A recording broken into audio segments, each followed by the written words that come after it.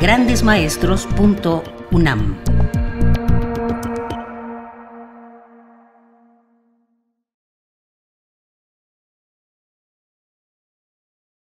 Bien, pues bienvenidos. Vamos a continuar con este ciclo de eh, conferencias, curso sobre cómo la lengua es el mejor soporte de nuestra identidad y en qué aspectos podemos ver la identidad de los mexicanos y en general la identidad como hispanohablantes.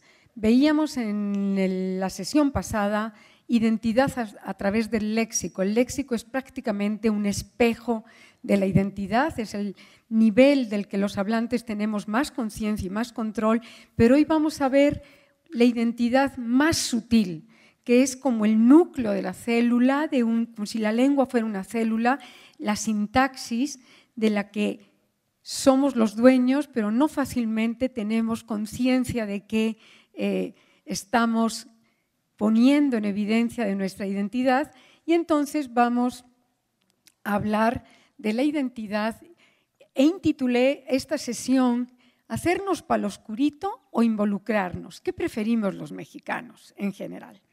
Vamos, vamos a recordar muy brevemente qué es una gramática y qué es sintaxis, porque es pertinente. Hoy solo vamos a hablar de sintaxis y de gramática. Una gramática, mm, en líneas generales, es una disciplina que se ocupa de cómo los hablantes ponemos en contexto, en construcciones eh, y en colocaciones el léxico, es decir, las palabras de una lengua unas con otras, y cómo esas colocaciones van a aportar evidencia de quiénes somos. La sintaxis, como ven ustedes en el punto 2, en el apartado 2, es una parte de la gramática, analiza fundamentalmente cómo se combinan y se disponen linealmente con qué recurrencia, con qué frecuencia hacemos esas combinaciones los hablantes y cómo a través de esas combinaciones pueden manifestarse sin duda, pero de manera muy, muy sutil. Vamos a intentar hoy hacer evidente esa sutileza de la sintaxis. Se puede manifestar la simbolización del mundo que tiene un pueblo o que tiene una sociedad.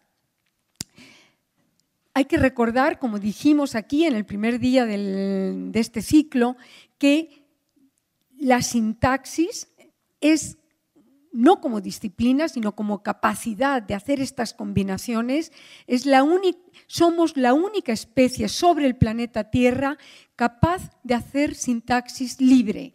Y eso significa que podemos combinar creativamente secuencias y construcciones para hacer sintaxis nueva sin que sea necesariamente nueva en el sentido de que nadie antes de nosotros haya dicho tales palabras, pero sí en el sentido de que hay estemos poniendo combinaciones nuevas sin haberlas oído antes o sin nosotros mismos haberlas dicho antes. Bien, este hoy, no se apuren, va a ser mucho más entretenido que, que unas definiciones de sintaxis. Vamos a ver dos grandes ejes que construyen dos grandes, grandes ámbitos de la sintaxis de la lengua española y en esos dos ámbitos el español de México es el rey. Eh, otras partes del español americano también lo explotan al máximo, pero el español de México tiene sutilezas que no comparte ningún otro país hispanohablante, ni en América, y desde luego no lo comparte España. Un eje es la impersonalidad, despersonalización, o sea, es como hacernos para distanciarnos, no son exactamente lo mismo impersonalidad y despersonalización. Impersonalidad es que, no, que no es posible identificar un sujeto que haga la acción. Eh, no hay ni sujeto gramatical, no hay ni sujeto lógico, como en verbos como llueve mucho, amanece temprano, atardece tarde en estos días. Se llaman verbos unipersonales porque solo los podemos decir en principios, en español general, en tercera persona. Amanece, anochece, llueve, truena, relampaguea, usados en su sentido literal, ¿no? Yo puedo decir yo trueno cuando me dicen tal cosa, pero no en ese caso es un sentido metafórico y no estamos tratando ahí de eso. Eso se llaman verbos impersonales. Luego hay un eje que está que es el que más más nos va a interesar, que es el de la despersonalización, está íntimamente ligada con la impersonalidad, pero ahí no es que no haya un sujeto, no se puede identificar un sujeto, sí lo hay, pero se oculta el agente, el responsable de lo que se está expresando, porque no quiere expresar su presencia en la acción. Entonces, eh, son despersonalizaciones porque lo expresado no se puede concebir sin la acción de un ser humano, con cosas como, señora, se rompió el jarrón, se cayó el sistema, fueron hallados tres cuerpos, evidentemente alguien rompió el jarrón, alguien en el mundo informático puso una tecla o picó una tecla para que se cayera el sistema y alguien halló esos tres cuerpos. Y entonces esa, despersonalización sí es un voluntariamente hacerse para lo oscurito. Y necesariamente, o sea, socialmente es muy conveniente muchas veces. La afectación, que es el otro eje que construye, construye decenas de construcciones, la afectación y también la impersonalidad, construye la afectación lo que significa es que el hablante codifica explícitamente, o sea, pone o pronombres, o pone verbos, o pone marcas de código lingüístico para mostrar su involucramiento y su afectación en lo expresado. O bien se codifica a él mismo, yo, por ejemplo, o él o codifica al interlocutor, un tú de manera explícita o velada, o bien codifica a otro participante, un tercero, que le es importante al hablante y lo mete a la expresión, lo mete a la predicación, o bien puede codificar afectadamente eh, entidades que el hablante considera cercanas, relevantes, importantes para su entorno. El término técnico para esta afectación es subjetivización, pero ya no diré más de tecnicismos. Muy bien, vamos ahora a hablar un, minuto de lírica tradicional y lírica popular porque con lírica popular vamos a trabajar hoy fundamentalmente. La lírica tradicional y la lírica popular hacen un uso, una explotación máxima de los dos ejes, de despersonalizarse, de distanciarse, hacerse para lo oscurito y de aproximarse. Y muchas veces hacen eh, estas dos estrategias sintácticas son usadas de manera simultánea en contraposición y en reequilibrios que el autor eh, lírico las explota muy bien. Por lírica tradicional, grosso modo, grosso modo, en líneas generales, se entiende que es una lírica, una poesía anónima. O sea, el requisito de la lírica, de la poesía tradicional, es que no tenga, no se sepa quién escribió aquello o quién lo cantó. Por supuesto que alguien lo cantó por primera vez, por supuesto que alguien lo escribió, pero el requisito es que sea anónima. Ajá. Bien, porque todos lo saben y entonces ya no importa, todos sabemos corridos, todos sabemos décimas de los decimeros de Tlacotalpan, pero ya no importa quién escribió aquella primera décima o quién cantó aquella primera décima y se siguen manteniendo en la tradición. Es decir, para la lírica tradicional no importa el autor, importa el adueñamiento que hacemos los hablantes de esa poesía poesía cantada, poesía recitada de ese mundo poético. En la lírica eh, tradicional, recuerden esto, los dueños somos todos. Igual que de la lengua, los dueños somos todos. Es una recreación con reinterpretaciones, modificaciones, los romances, el romancero viejo, el nuevo romancero es parte de la lírica tradicional. La lírica popular se caracteriza porque sí tiene autor, porque tiene derechos autoriales, pero con frecuencia, si se vuelve muy eh, repetida, nos olvidamos de quién cantó aquello o quién es el autor de aquello, y ese autor pasa al anonimato y pasa a la inmortalidad, porque ya nadie sabe que aquello fue, por ejemplo, de José Alfredo Jiménez. Pero todos reconocemos y sabemos cantar eh, las canciones de José Alfredo Jiménez. O sea, José Alfredo Jiménez está a un paso de volverse, ya llegó a la inmortalidad, pero está a un paso, como otros muchos cantantes eh, eh, y autores, están a un paso de pasar de lo popular a la tradicional. Si no llegan al anonimato, a la no identificación del autor, no se va a llegar a lírica tradicional. Ojo, hay lírica tradicional que no llegó nunca a ser popular como el Cantar de Mío Cid, por ejemplo, el primer poema mm, en lengua castellana. Pero la lírica popular con frecuencia pasa, muy frecuentemente nos olvidamos de quién escribió aquello. Los corridos de los Tigres del Norte ya no sé ni cuáles son, pero si los oigo digo, ah, esto es un corrido. Ese es el paso. Muy bien. La lírica popular es maestra, maestra en controlar mecanismos de despersonalización y de afectación.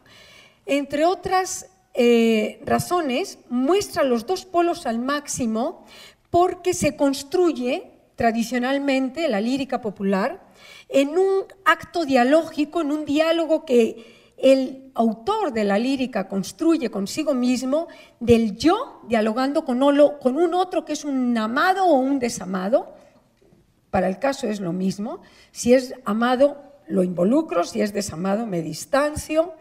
Y emplea de manera simultánea las dos estrategias muchas veces. El ámbito del desamor y el, y el ámbito de la afectación, a veces una afectación tibia, como vete, pero eh, no quiero que te vayas, o acércate, pero tampoco quiero que estés. eh, la lírica popular es maestra. En parte van a ver ustedes, lo estoy adelantando, porque los mecanismos sintácticos de despersonalización y de afectación suelen ser monosílabos. Se y su, me, te, ti, son los dueños de esa lírica y al ser monosílabos, el poeta, el, autor de la, de la canción, juega con esos monosílabos de manera perfecta y crea maravillas. Ya muy pronto vamos a poner a trabajar al maestro, a la guitarra, al maestro Esparza y a la cantante. Muy bien, fíjense un ejemplo paradigmático de la lírica popular. Eh, Julio Jaramillo, seguramente muchísimos de ustedes no saben, yo no sabía que esto era de Julio Jaramillo, tuve que ir a buscarlo. Fíjense, cómo me alejo y cómo me acerco. Te odio y te quiero, lejos y cerca. Te busco y te niego, lejos y cerca, simultáneamente en el mismo verso. La espina que duele, lejos.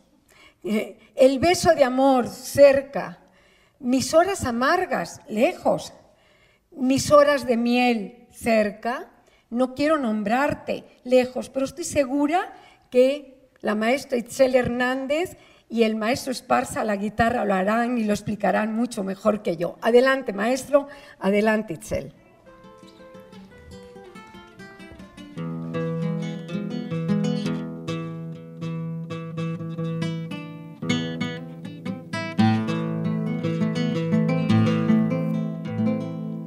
Me muerdo los labios para no llamarte me queman tus besos, me sigue tu voz, pensando que hay otro que pueda besarte. Se llena mi pecho de rabia y rencor.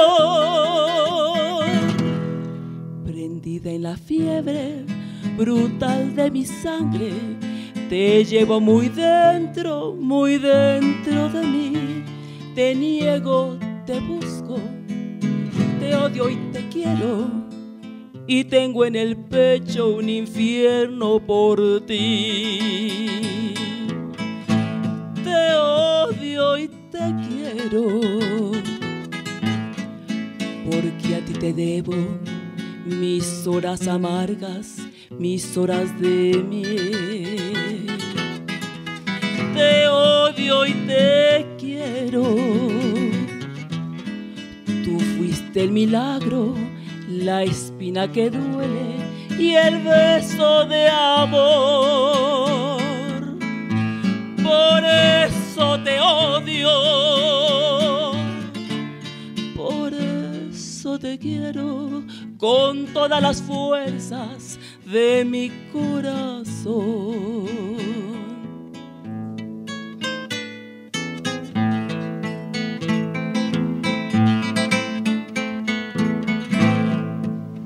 Quiero nombrarte y busco en las copas el vino de olvido que nunca se da. Pensando arrancarte, busco en otras bocas el fuego que borre tu beso inmortal. Y todo es inútil, ni copas ni besos pueden separarte, separarte de mí. Te llevo en mi sangre, te odio y te quiero. Y tengo en mi pecho un infierno por ti te odio y te quiero, porque a ti te debo mis horas amargas, mis horas de miel. Odio y te quiero, tú fuiste el milagro, la espina que duele y el beso de amor. Por eso te odio, por eso te quiero con todas las fuerzas de mi corazón.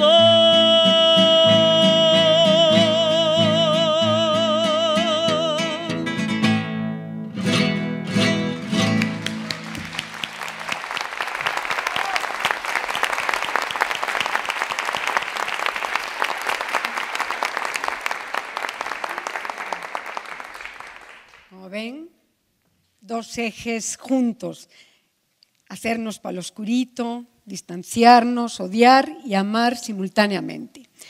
Vamos a ver primero estrategias sintácticas de la impersonalidad pura que la gramática dice que no se pueden conjugar excepto en tercera persona. Verbos que solo aparentemente se pueden conjugar en la gramática tradicional.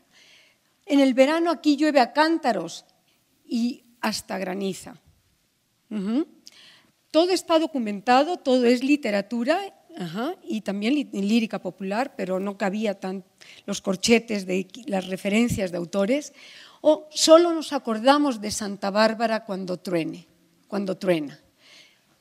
O nos dice Fernando del Paso, en esta época anochece a eso de las siete y amanece también como a las siete, en un pequeño diálogo. Pero he aquí que el español de México y también el de Perú, también el de Perú, puede hacer linduras como personalizar los verbos que son absolutamente impersonales, unipersonales, los convierte en primera persona, pero no solo eso, también los puede hacer reflexivos, sumamente cercanos.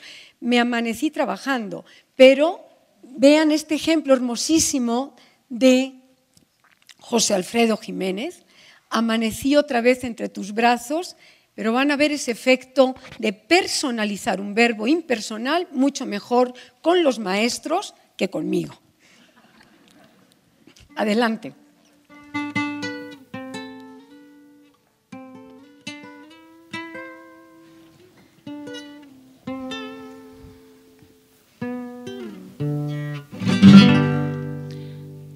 Amanecí otra vez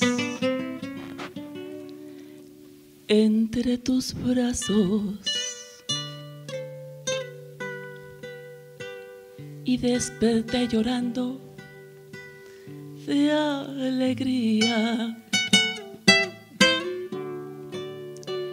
Me cobijé la cara con tus manos. para seguirte amando toda Te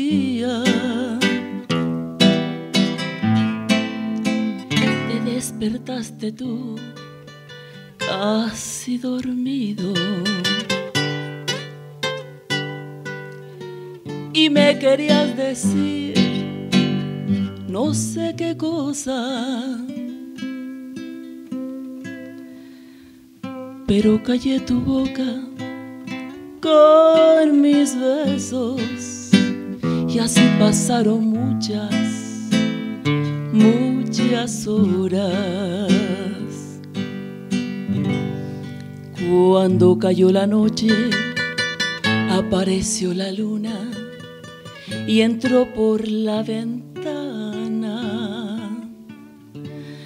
Qué cosa más bonita cuando la luz del cielo iluminó tu cara.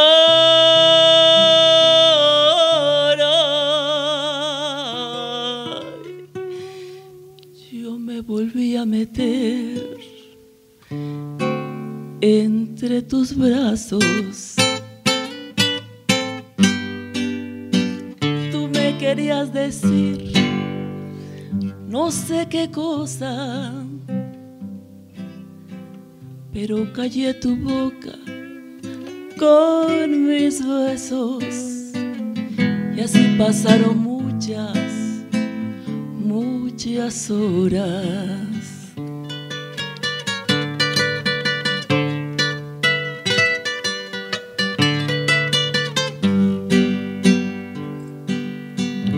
Cuando cayó la noche, apareció la luna y entró por la ventana. Qué cosa más bonita cuando la luz del cielo iluminó tu cara.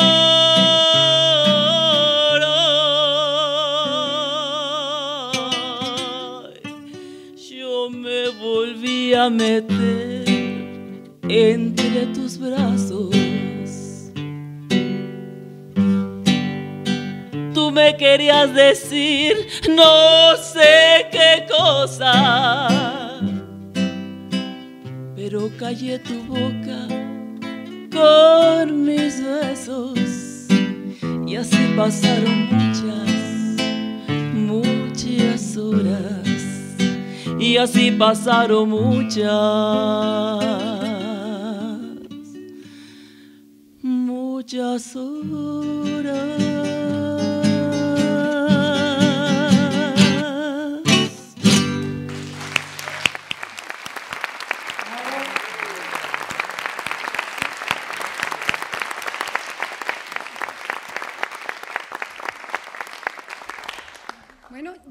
Dos estrategias de despersonalización, de impersonalidad. Una de ellas se personaliza en el español de México eh, sin ningún problema. Eh, más estrategias sintácticas de impersonalidad pura. El verbo hacer, hace mucho tiempo que las obras hubieran tenido que paralizarse, no, le import- no hay sujeto. Hace un calor infernal a mediodía. Los verbos meteorológicos que indican climas, estados de cambios de temperatura, esos en muchísimas lenguas del mundo, entre ellas el español, se construyen de manera impersonal, en terceras personas. Hace un calor infernal, de manera que en un lado siempre es de día y en el otro siempre es de noche. Ese, ejemplo también es de Fernando del Paso. Pero nosotros no sentimos ni con el sol ni cuando está nublado, grita Fushia. Este es de Vargas Llosa. O siempre hay problemas en la política.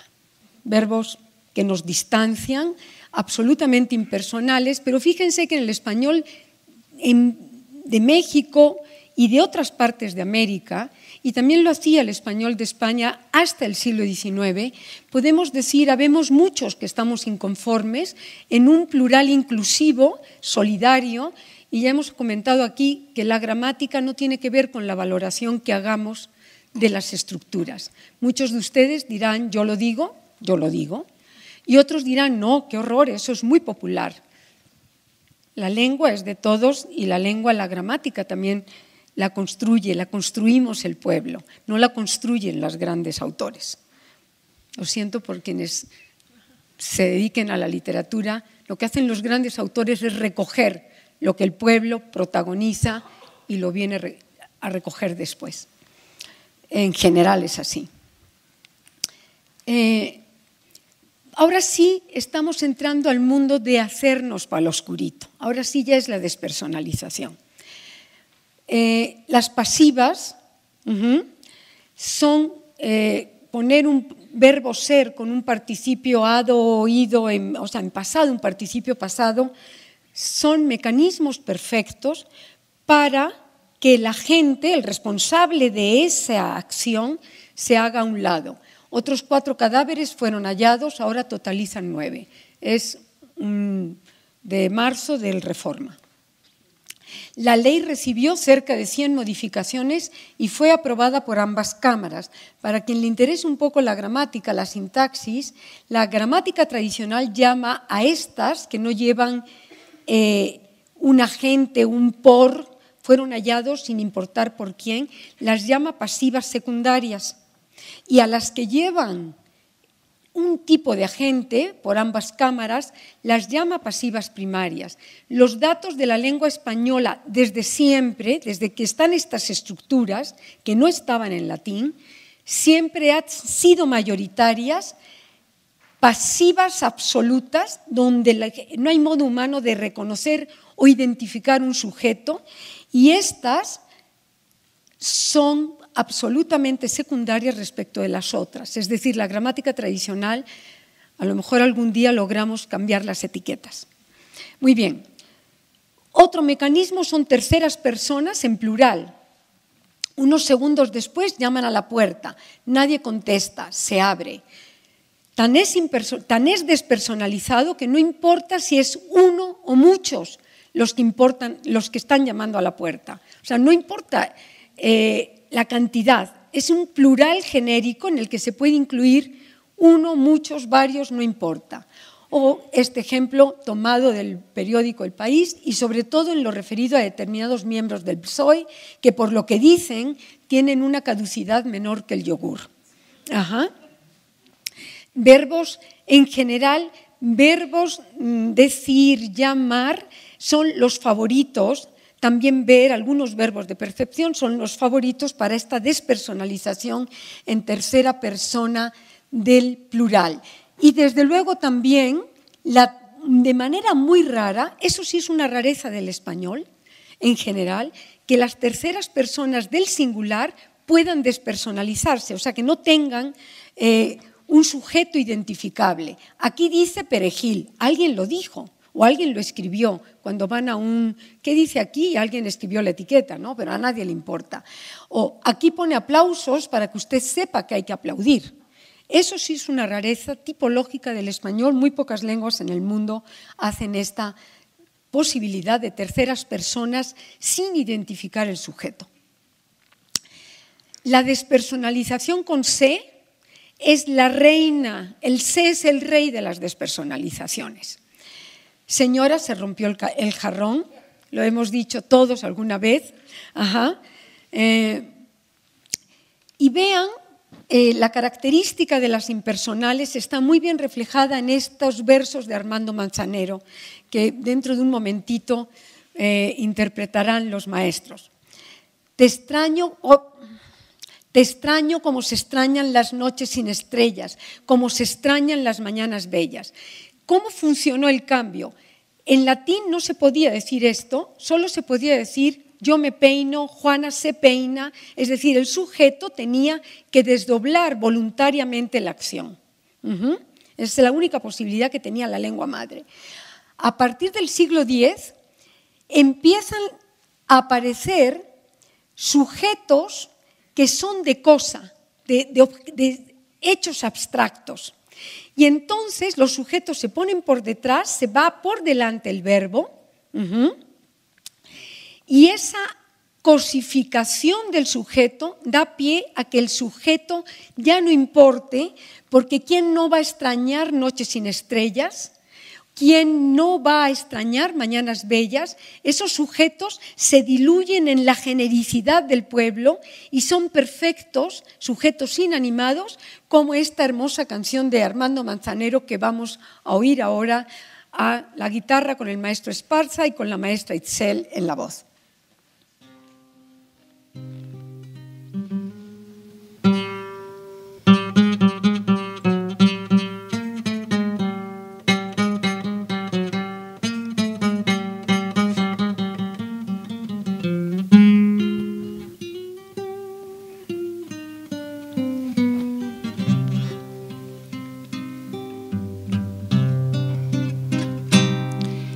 Extraño como se extrañan las noches sin estrellas, como se extrañan las mañanas bellas.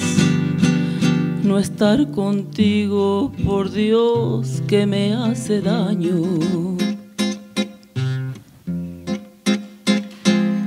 Te extraño cuando camino cuando lloro, cuando río, cuando el sol brilla, cuando hace mucho frío, porque te siento como algo muy mío.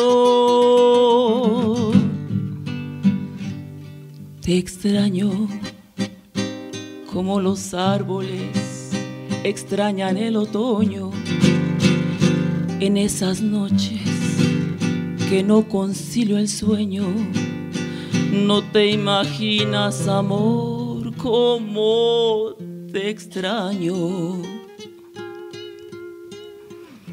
Te extraño en cada paso que siento solitario. Cada momento que estoy viviendo a diario, estoy sufriendo amor porque te extraño. Te extraño cuando la aurora comienza a dar colores con tus virtudes, con todos tus errores. Por lo que quieras, no sé, pero te extraño.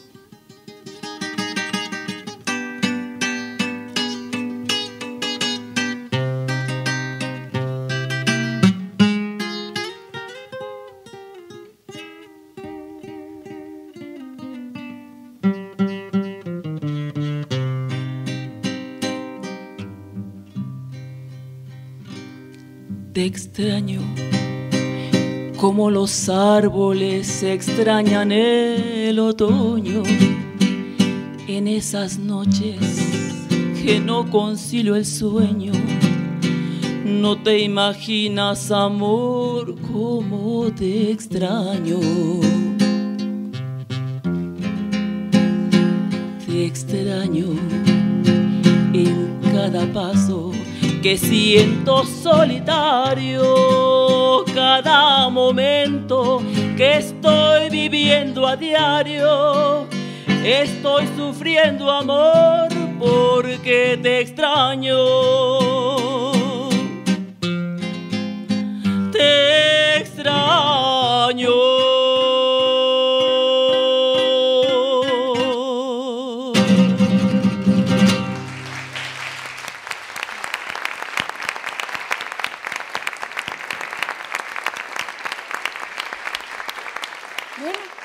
Pues sigamos con el rey.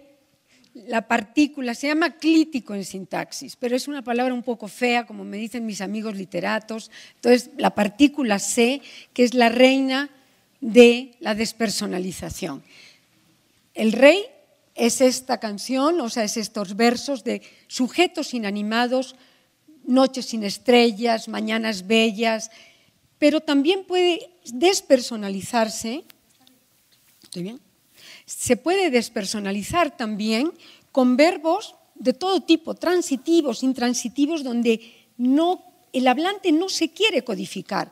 Yo llego y digo, se está bien aquí, se vive bien aquí, a nadie soy yo, pero no quiero ponerme en primera persona, se está lejos de alcanzar acuerdos, es perfecto para el mundo político, el mundo empresarial.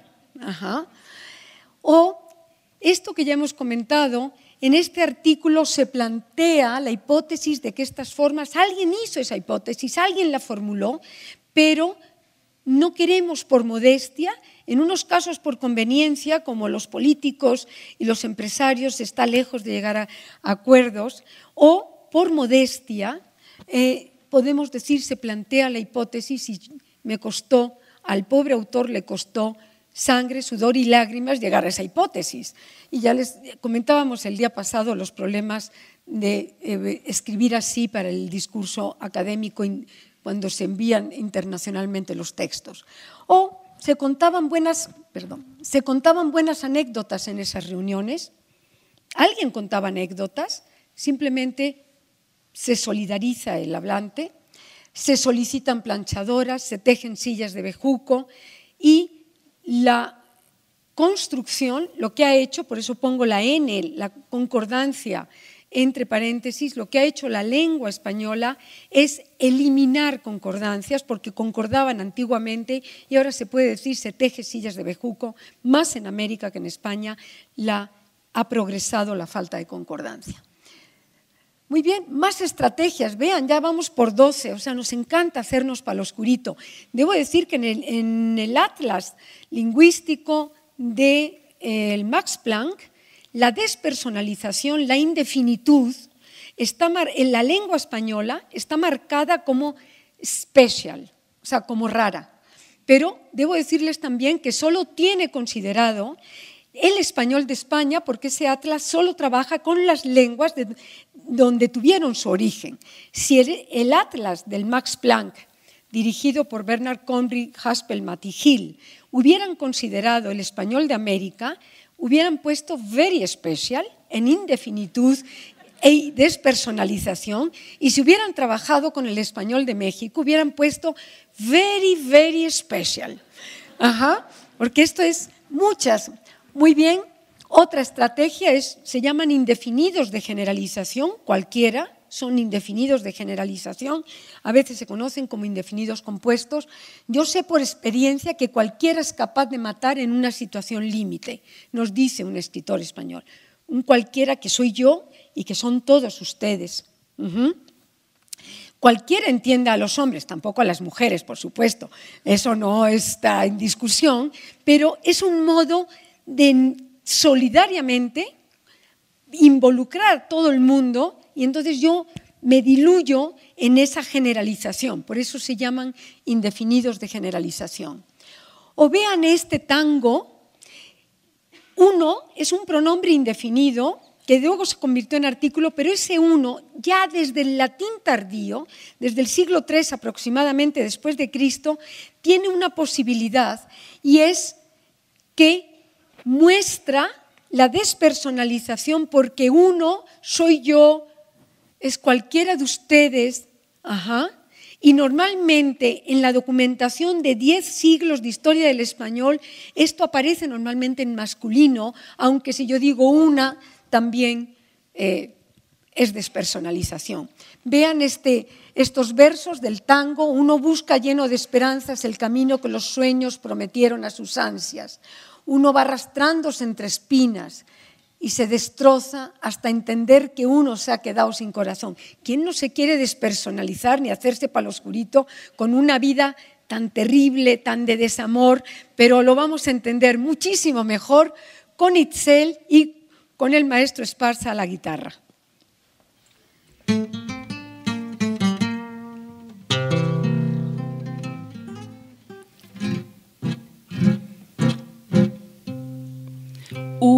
Busca lleno de esperanzas el camino que los sueños prometieron a sus ansias. Sabe que la lucha es cruel y es mucha, pero lucha y se desangra por la fe que lo empecina.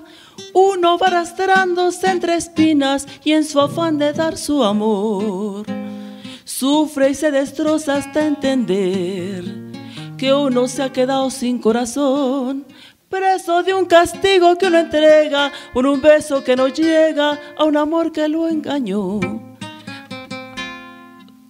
vamos a hacer un pequeño corte. ¿Va de nuevo? Sí, porque no nos pusimos de acuerdo bien en el tono. ¿Ya, maestro? Ahora sí, en fa. Uno busca lleno de esperanzas el camino que los sueños prometieron a sus ansias. Sabe que la lucha es cruel y es mucha, pero lucha y se desangra por la fe que lo empecina. Uno va arrastrándose entre espinas y en su afán de dar su amor, sufre y se destroza hasta entender que uno se ha quedado sin corazón preso de un castigo que no entrega, con un beso que no llega, a un amor que lo engañó. Vacío ya de amar y de llorar, tanta traición. Si yo tuviera el corazón, el corazón que di, si yo pudiera como ayer, querer sin presente es posible que tus ojos que me gritan su cariño los cerrara con mis besos. Sin pensar que eran como esos otros ojos los perversos los que hundieron mi vivir. Si yo tuviera el corazón, el mismo que perdí si olvidara la que ayer lo destrozó y pudiera amarte, me abrazaría la ilusión para llorar tu amor.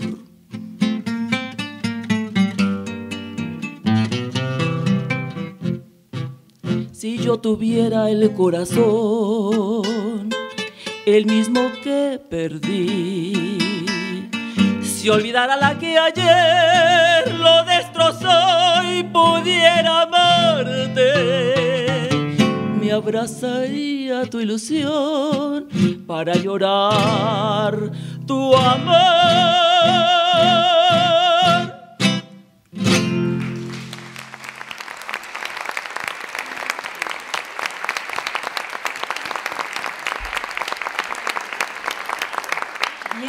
Sigamos con más estrategias de cómo hacernos para lo oscurito. Las segundas personas, eh, tú, vos, cualquiera que sea el país y el tratamiento de segunda persona, tú, usted también, pueden ser perfectos mecanismos para distanciarnos de lo que estamos diciendo porque al expresar estos tú, este vos, es cualquiera, le puede ocurrir a cualquiera, entonces solidariamente mm, jalo a mis oyentes para que se solidaricen con esa despersonalización. Cuando, uno, cuando tú llegas a la ventanilla y cinco minutos antes te dicen que te cerraron, te quieres morir todos lo hemos dicho alguna vez, pero estos son ejemplos mucho más interesantes porque son de literatura. Da igual, aquí aunque estés en el teatro más pequeño de un barrio, tú llegas allí y tienes quien te coloque los focos. Benito Pérez Galdós. Con estos cambios de temperatura, por el día tiene usted calor, por la noche frío. Eso es Pío Baroja. Si vos publicás es porque de alguna manera querés comunicarte con otros. Un escritor uruguayo de hace mes y medio. Ajá. Más, por supuesto, si la sintaxis está construida de encadenamientos de palabras en colocaciones específicas, el léxico puede servirnos para despersonalizarnos y distanciarnos despectivamente de lo que estamos diciendo y despectivamente porque no queremos identificar al otro. No nos conviene ni nos interesa ni, se nos pega la gana identificar al otro. Y entonces la lengua española dispone de más de 120 construcciones, todas de esta naturaleza. Se acercó, oh, perdón, se acercó un amigo, un banda, un bandera, un vato, un pendejo, un güey, un don, un X, un weón, un man, un mono, una... Toda la lengua española dispone de esas estrategias Parte de, la despersonalización es que aquí sí sabemos quién se acercó. un mono, un güey, un pendejo, un ruco. También se acerca la ruca, la mona, la pendeja, por supuesto. Se pueden feminizar, pero lo interesante es que la estrategia de despersonalización está lograda cabalmente a través de la sintaxis. El sujeto, el que se acerca, es el amigo, el vato, el chamaco, el chango, el don, pero se pone tras el verbo, que es la posición típica de los objetos. Se cosifica al sujeto y, se le mete, se lo encabeza con un un de que no me importa, es un un relacionado con el uno anterior. De hecho, es la misma raíz etimológica. Esta estrategia es perfecta, es extendidísima y debo decir que la hace el español, la hace también el portugués con una gente, por ejemplo, y el portugués de Brasil más que el portugués peninsular, pero no la hacen muchas otras lenguas romances. Y no se puede hacer en otras muchas lenguas del mundo de poner por detrás un sujeto que es absolutamente desconocido y sobre, es desconocido porque yo no lo quiero identificar y genera estructuras altamente despectivas, eh, sin duda. Ahora pasemos al otro polo, cómo afectarnos, cómo meternos a, la predicación, a lo que estamos diciendo. Lo que hace la afectación es una estrategia sintáctica por la cual el hablante codifica explícitamente su involucramiento respecto de lo expresado. O bien se codifica él mismo, como dijimos al inicio de esta conferencia, o bien a su interlocutor, o bien a otro participante, o bien a las entidades que él concibe como importantes, cercanas, relevantes para su entorno, y busca mecanismos para codificar esa proximidad. Muchas veces, bueno, las dos estrategias básicas para expresar eso es la reflexividad, que es con C, métese, y la posesión, su, su, tú. Si ven, dos monosílabos, y entonces muchas veces van juntas como se desayuna su toronja todos los días, pues ya sabemos que es él el que desayuna, ¿para qué le vamos a poner el su?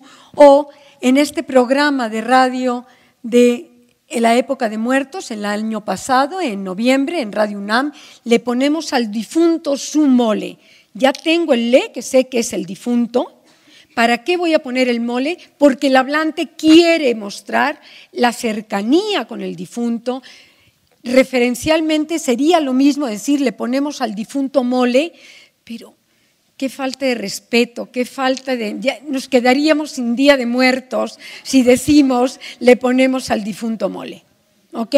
Bien, entonces sigamos ahora, veamos estrategias de afectación. Este C del ejemplo 1 se llaman Cs aspectivos de perfectividad. O sea, ¿recuerdas la escena de Al Pacino ciego? se bailó un tango de aquellos. O sea, le salió redondo, perfecto. O sea, el hablante podría haber dicho, bailó un tango de aquellos, pero entonces no se está metiendo en la predicación. Por eso, estos ses de afectación, que vean que son los mismos de la despersonalización, estos ses juegan o van, normalmente se colocan en sintaxis con tiempos pretéritos que indican que la acción fue concluida y fue concluida con éxito. A diferencia de los ses impersonales que prefieren los presentes, el mundo atemporal, se extrañan, se vive bien aquí, eh, se está bien aquí. Los las despersonalizaciones prefieren los presentes, los tiempos presentes, porque es el atemporal del sistema verbal del español. En cambio, las afectaciones prefieren tiempos pasados. O, ahora sí te cuento una buena de mujeres. ¿Te acuerdas de Marta? La sobrina de doña Manuela, la sobrina de doña Sara. Esa salud me la cogí.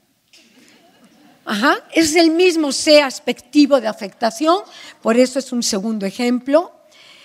O estas maravillas en las que el español de México abunda, que están desde el latín, pero están tímidamente desde el latín, que son estas partículas donde el que tiene que echarle ganas es el otro. Y él se mete, el hablante dice, no se me desavalorine.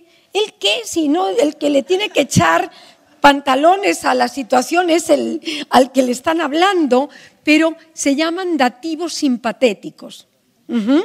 Desde el latín había unos pocos, es difícil documentar en latín textos tan, tan íntimos como estos, tan cercanos, pero dice, compañerito, no se me desavalorine, hoy arreglamos todo, ya verá. Es un escritor mexicano. Entonces, ¿qué hace ese me ahí?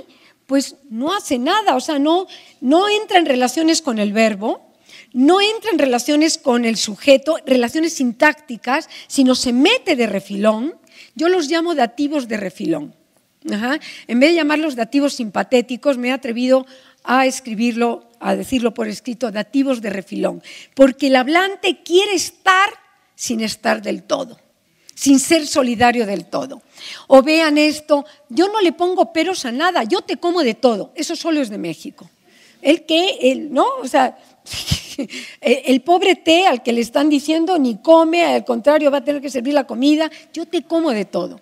O esta, como al caballo blanco le solté la rienda, a ti también te suelto y te me vas ahorita.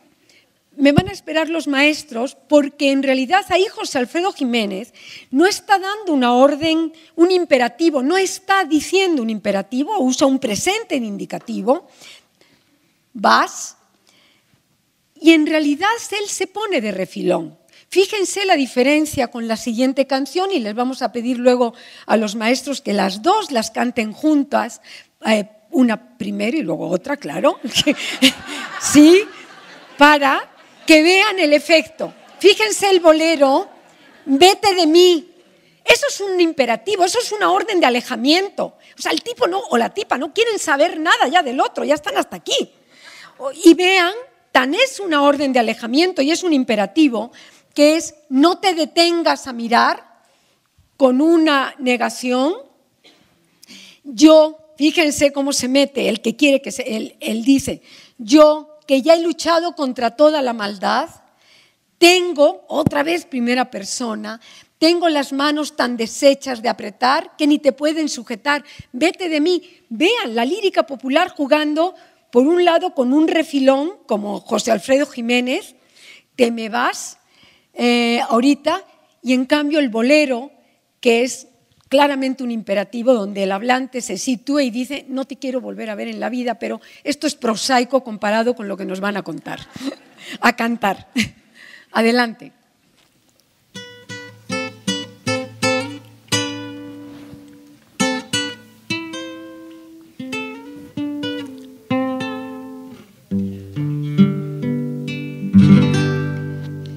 se me acabó la fuerza y te solté la rienda. Voy a dejarte el mundo para ti solito. Como al caballo blanco le solté la rienda a ti también te suelto y te me vas ahorita. Y cuando al fin comprendas que el amor bonito lo tenías conmigo, vas a extrañar mis besos en los propios brazos de la que esté con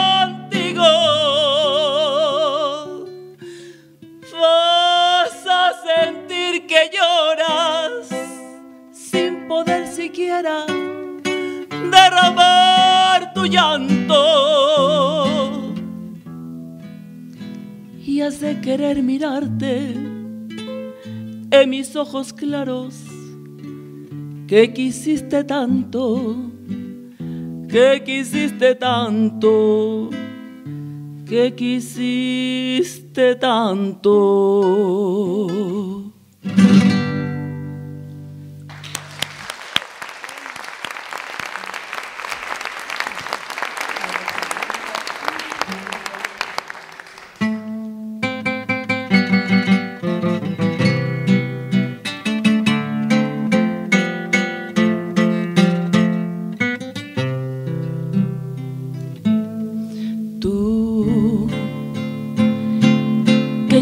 Todo de alegría y juventud. Y ves fantasmas en la noche de trasluz. Y oyes el canto perfumado del azul. Vete de mí. No te detengas a mirar las ramas viejas del rosal que se marchitan sin dar flor. Mira el paisaje del amor, que es la razón para soñar y amar. Yo, que ya he luchado contra toda la maldad, tengo las manos tan deshechas de apretar ni te puedo sujetar. Vete de mí. Seré en tu vida lo mejor de la neblina del ayer. Cuando me llegues a olvidar, cómo es mejor el verso aquel que no podemos.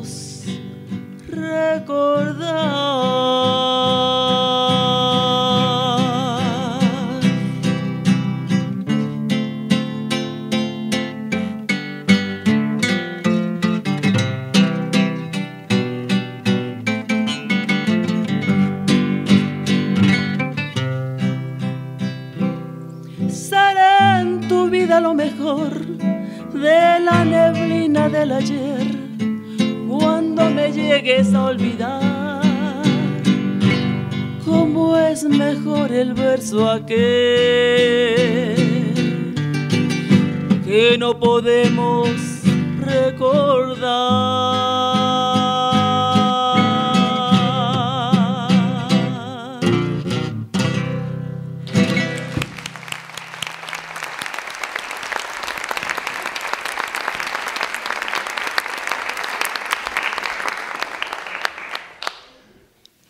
Estrategias de afectación.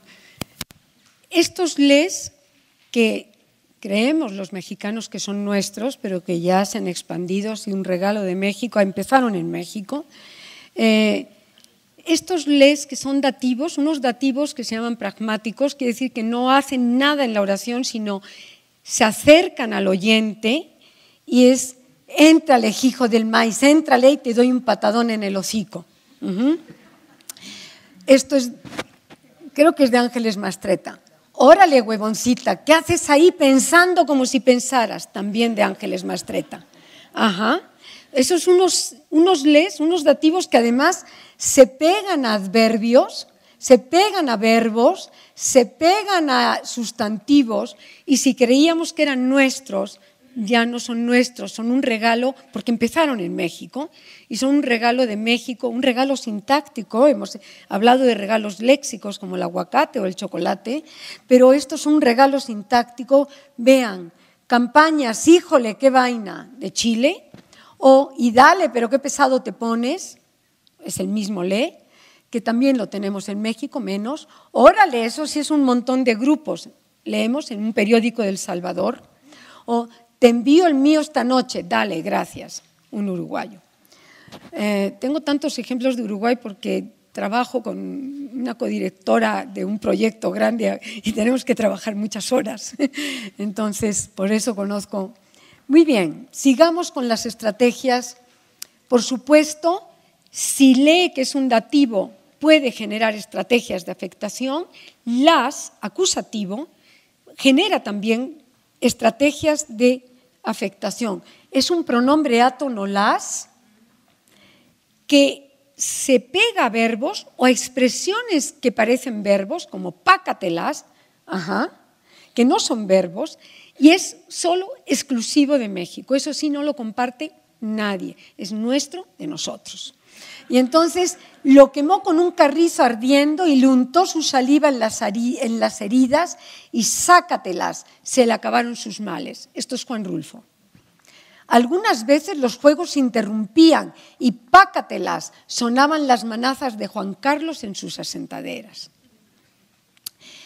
Y por supuesto que decíamos donde confluyen el posesivo y el reflexivo. Pues ese día le llevamos su mole, su cerveza, sus cigarros, su plato de arroz, su agua para que tome todo lo que le gustaba a nuestro difunto.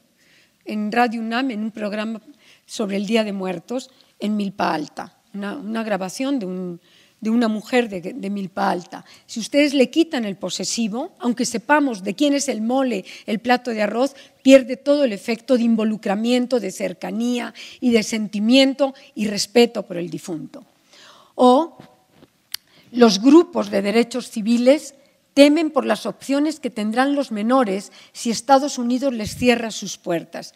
Un periódico de hace dos meses hablando de los Dreamers, de este, estos grupos eh, en Estados Unidos, de latinos. Sus cercanos tratan de hacerle más llevadera su vida, se podría decir la vida, por supuesto, sin ningún problema, pero los mexicanos adoramos poner reflexivos y posesivos juntos para un involucramiento de lo que estamos diciendo. Siguiente, pero tengo que estar en la, aquí sí. O otras es doblar el posesivo, ya hemos hablado, se la pasa toda su vida ahí en la misma empresa, haciendo dibujos, pintando, haciendo proyectos, formando programas. Esa es su vida de Ramón. Se duplican esos posesivos, se llaman posesivos doblados o duplicados, cuando lo poseído, la vida, el estado de ánimo son inherentes, intrínsecos al poseedor, en este caso a Ramón. No se puede concebir Ramón, lo que están narrando, sin que la vida se la pase frente a la computadora. Y dice, definitivamente sí, esto es un programa de radio, definitivamente sí, el ciclo hormonal influye en su estado de ánimo de la mujer. Cuando el hablante, desde su perspectiva, considera que poseedor y poseído contraen una relación de inherencia especial, entonces los mexicanos y gran parte de América doblan el posesivo. Esto estaba en el español medieval y en el siglo XVI desaparecen prácticamente. Es decir, que llegaron antes, llegaron en el siglo XVI y se fueron aumentando poco a poco por un proceso del que hemos comentado, se llama convergencia comunicativa. Yo creo que sí, la visión de mundo de lenguas amerindias, especialmente el náhuatl, influyó enormemente en este crecimiento exponencial de doblamientos de posesivo. Y las gramáticas dicen que es popular, que no se deben doblar los posesivos y menos ponerle un relativo por detrás y vean, esto es una conferencia, no voy a decir de quién, pero es de un importantísimo chelista mexicano. Para Sostakovich, su sinfonía número 5 que compone en ese año fue una pieza muy especial. O sea, no es habla popular, es habla culta, cultísima.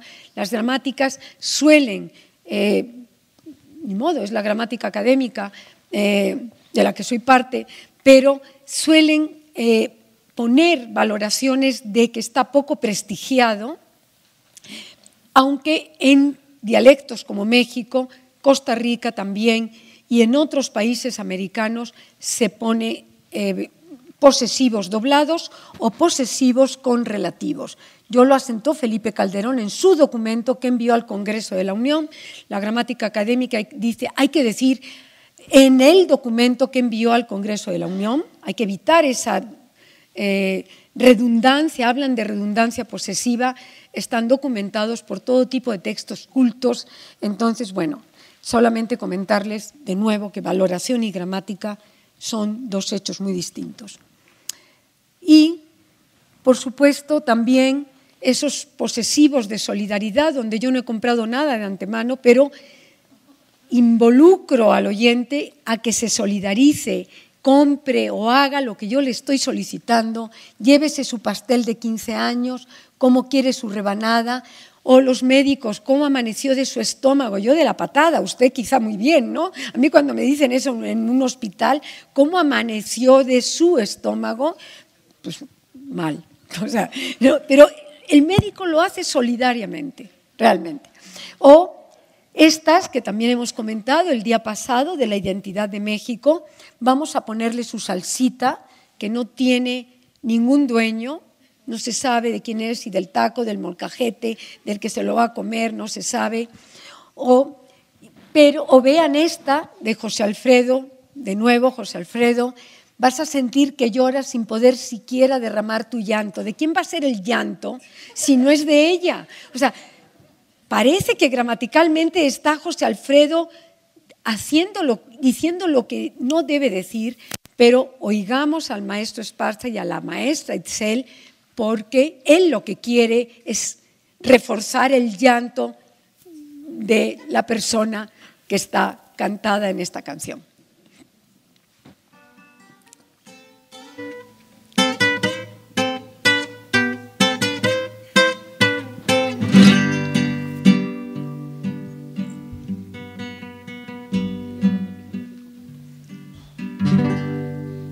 Cuando al fin comprendas que el amor bonito lo tenías conmigo, vas a extrañar mis besos en los propios brazos de la que esté contigo.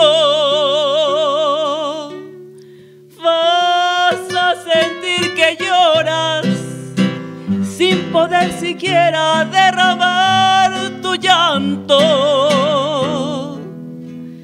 Y has querer mirarte en mis ojos claros, que quisiste tanto, que quisiste tanto, que quisiste tanto.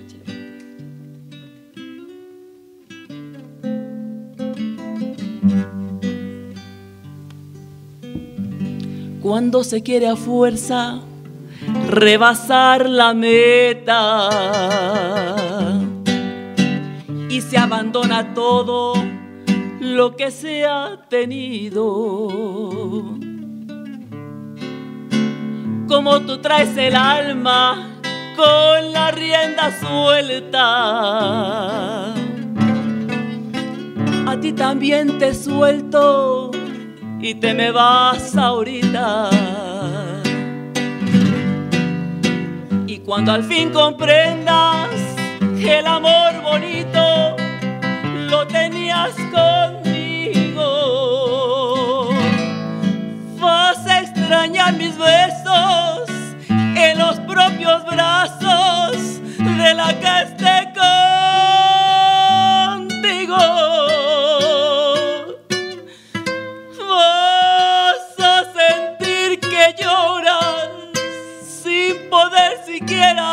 derramar tu llanto y hace querer mirarte en mis ojos claros que quisiste tanto, que quisiste tanto, que quisiste tanto. Se me acabó la fuerza y te solté la rienda.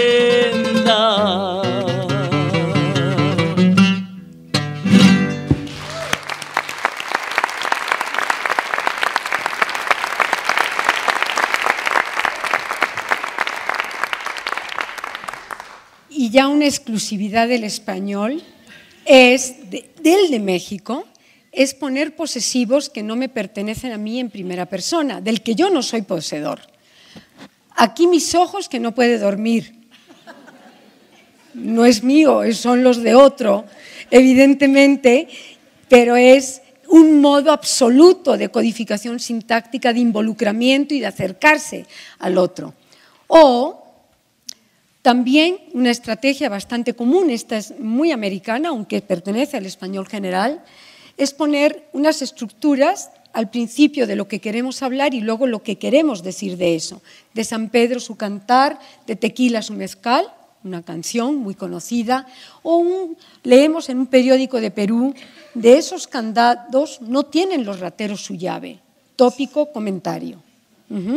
Es una estructura muy frecuente. También está no está tan bien valorada por la gramática académica, pero debo decir, eh, bueno, para el siguiente año Mirna, en vez de con lírica popular, con los hipercultos. Cervantes tiene así, pero así. En varios capítulos del Quijote se pueden encontrar tópicos, comentarios en cantidades industriales. O el colmo de los colmos, posesivos solo sin llenado, de poseído. Unos Doberman de este pelo, de aspecto casi tan fiero como el de un judicial. Paso y por supuesto, pues hay que llenarle al pobre posesivo solo, hay que llenarle un poseído, y qué mejor que la madre en México, o el eufemismo de la madre. Ajá. Yo le dije, mecha, y él dijo, ¿cree que los poetas campesinos asesinaron a su hijo? Yo le dije, pa' su madre. Y él dijo, pues sí. Eso es de Roberto Bolaños. O un posesivo que, bueno, se puede llenar también con la pobre madre. Eh, ingesu es un adverbio, es una combinación de, en su origen, un adjetivo eh, mezclado con un verbo, eh, chingar con pinche, es una mezcla, ajá, y un su que ya no posee nada, ingesu. Eso es exclusivo de México, estos del mis ojos, pasu, ingesu, esos no los tiene pónganse contentos, ninguno de los otros 20 países que hablan lengua española. Y además debo decir que no se entienden, y tan no se entienden que ahora va esta, un posesivo tónico, eh, me saludas a la tuya, o cuando dice un mexicano, la tuya. Esos actos de habla ya no son ilocutivos, ya no es simplemente querer expresar algo, se llaman en gramática, tienen un término técnico, actos de habla perlocutivos, porque es insultar al otro. Y qué mejor que esta canción de Paquita, la del barrio, para insultar al otro. Me saludas a la tuya con los maestros.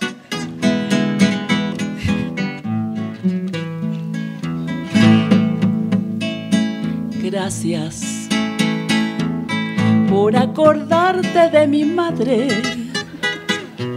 Y es que hace bastante tiempo que no me la recordaban con un lenguaje florido. Gracias. Te agradezco tu cumplidor y sin hacer tanta bulla te repito a ti también, me saludes a la tuya. Y es que lo que tú me hiciste es peor que una mentada. Mira que jugar conmigo, yo que tanto te adoraba. Gracias te agradezco tu cumplido y sin hacer tanta bulla te suplico que también me saludes a la tuya.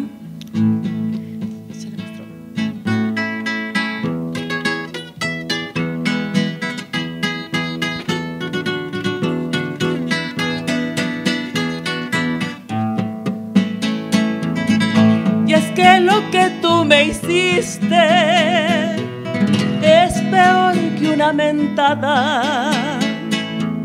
Mira que jugar conmigo, yo que tanto te adoraba. Gracias, te agradezco tu cumplido y sin hacer tanta bulla te repito a ti también. Me saludas a la tuya.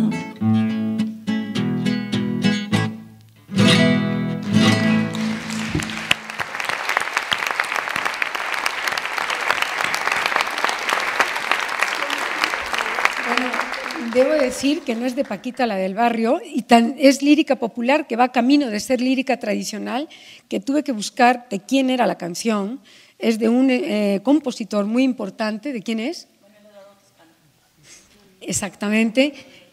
Y entonces va camino de lírica tradicional, del anonimato, ¿ven? Muy bien.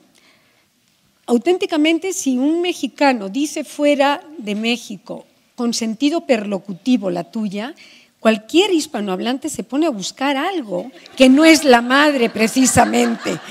Eh, ¿Ok? Entonces tenemos un español altamente identitario con formas varias. Bueno, ¿qué nos importa más a los hablantes? ¿Hacernos para oscurito o afectarnos, involucrarnos? Mire, las estrategias de despersonalización junto con impersonalidad son 13 construcciones y las de afectación son 11. Ahí se van. Pero lo interesante es que ninguna construcción de despersonalización, de distanciarnos, está marcada o estigmatizada como popular o que no se debe escribir en ninguna gramática de referencia de la lengua española. Sea, son plenamente aceptadas las de distanciamiento. En cambio, muchas construcciones de afectación, como esta de le duele su mano, eh, tu llanto, cuando es, le pusieron su mole, le damos su mole o su vida de Ramón, muchas de ellas están muy estigmatizadas, es decir, están marcadas como mal valoradas por la gramática prescriptiva, están valoradas como muy populares además, como incultas incluso, y muchas de ellas, varias de ellas al menos, como esta de su sinfonía número 5 que compone o eh, su, mm, su vida de Ramón, esas dos particularmente están asociadas a habla de indígenas que controlan mal el español estándar. No, yo los he oído y los tengo documentados en cualquier registro culto y popular, pero yo les comento esto. Por lo tanto, ¿quién gana la afectación? 11 eh, construcciones o la despersonalización. Gana la despersonalización no por lo cuantitativo, 13 contra 11, sino por el hecho de que están valoradas como correctas todas ellas y en cambio las de afectación Dos o tres de ellas están marcadas, pero así, usted no diga esto si quiere mostrar que pasó por la primaria. Entonces, por lo tanto, parece que el español de México preferimos despersonalizarnos y hacernos palo oscurito. Veamos, vamos rápidamente. Eh, no les voy a contar lo que pasó en latín, pero nada más vean este cuadro. Estrategias de despersonalización en latín había ocho, una, dos, tres, cuatro, cinco, seis, siete, ocho. claro, documentadas en cualquier tipo de texto latino y estrategias de despersonalización en el siglo XV ya tenemos 15. O sea, ha doblado el español del 15. Tomé el español del 15 porque es igualmente lengua escrita obligada, lengua culta, ajá, entonces me dicen, y si controláramos la lírica popular, o sea, metiéramos este cuadro lírica popular, han aumentado tres más. Es decir, las estrategias de despersonalización han crecido en la lengua española respecto de la lengua madre como si fueran eh, florecillas en el campo. Y la historia de la afectación es muy difícil de ser documentada porque requiere textos de intimidad, requiere textos de alta coloquialidad. ¿Y dónde vamos a encontrar eso en latín? Pues no, en las cartas de Cicerón, no, evidentemente, ni en las obras de teatro que estaban con una retórica estereotipada como cualquier obra de teatro. Entonces son muy difíciles de documentar, solo se documentan estos dativos que se llaman éticos y simpatéticos, estos de te me vas ahorita, yo te como de todo, se documentan esas con cierta frecuencia, ninguna más. Y para el español del siglo XV ya han subido a ocho, por lo menos uno, dos, tres, cuatro, cinco, seis, siete y ocho.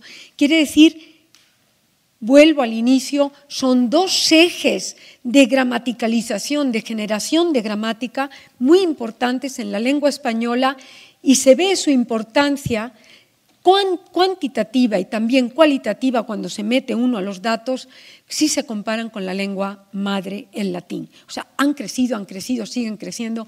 Es, ¿Y eso qué significa? Que es una preferencia de los hispanohablantes de México situarse, y en general del español de España, del español general, pero mucho más América que España y muy, muy particularmente el de México, situarse en la afectación con estos posesivos que ni siquiera son míos, mis ojos o el pasu y el, la tuya, ¿no? Muy bien, sigamos. Lo que es interesante, lo que es más, más interesante es que lo que nos hace libres es poder usar las formas, incluso las mismas formas, para efectos semánticos comunicativos opuestos. Los opuestos en la vida como en la gramática, los opuestos se tocan, y vean algunos ejemplos de estas oposiciones. Se y su, junto con si, eran las formas, eran formas del mismo paradigma en latín. Y por ello, no es de extrañar que tengan una sintaxis similar de afectación, se y su, pero también se creció debilitó al sujeto, puso sujetos inanimados como se extrañan las mañanas bellas, se extrañan las noches sin estrellas. las lenguas romances empezaron a poner, no se puede hacer en todas las lenguas romances, en rumano no se puede hacer eso de se extrañan las noches sin estrellas. Se puede decir de otra manera, claro, todo se puede decir en cualquier lengua. Eh, y entonces, dos, palabras que sirven, un sé que sirve para distanciarnos, es el gran rey del distanciamiento, del hacerse para lo oscurito, y el sé del involucramiento. Se bailó un tango de aquellos. Coaero, esto me remite a los indefinidos de generalización, cualquiera. Coaero en latín no significaba querer, significaba buscar. De hecho, el portugués y el español son las únicas lenguas que dejaron coaero para acercarse al otro y decir te quiero. Las otras lenguas usan a partir de un verbo en latín que, se llama, que es volo, je vais, eh, je t'aime, otros verbos. Pues muy bien, lo más interesante es significaba buscar y si algo se busca, evidentemente, es porque se desea. Y entonces de ahí viene el te quiero que está bastante tempranamente documentado. Y si de la búsqueda resulta una elección indiferente, nos da igual A que B, Pedro que Luis o Juana que María, evidentemente resulta un cualquiera. Es un cualquiera, es una cualquiera, me da lo mismo, o cualquiera lo hace, pero además con ese cualquiera puedo acercarme y despectivamente involucrar es una cualquiera, estoy descalificando con esa misma forma de despersonalización.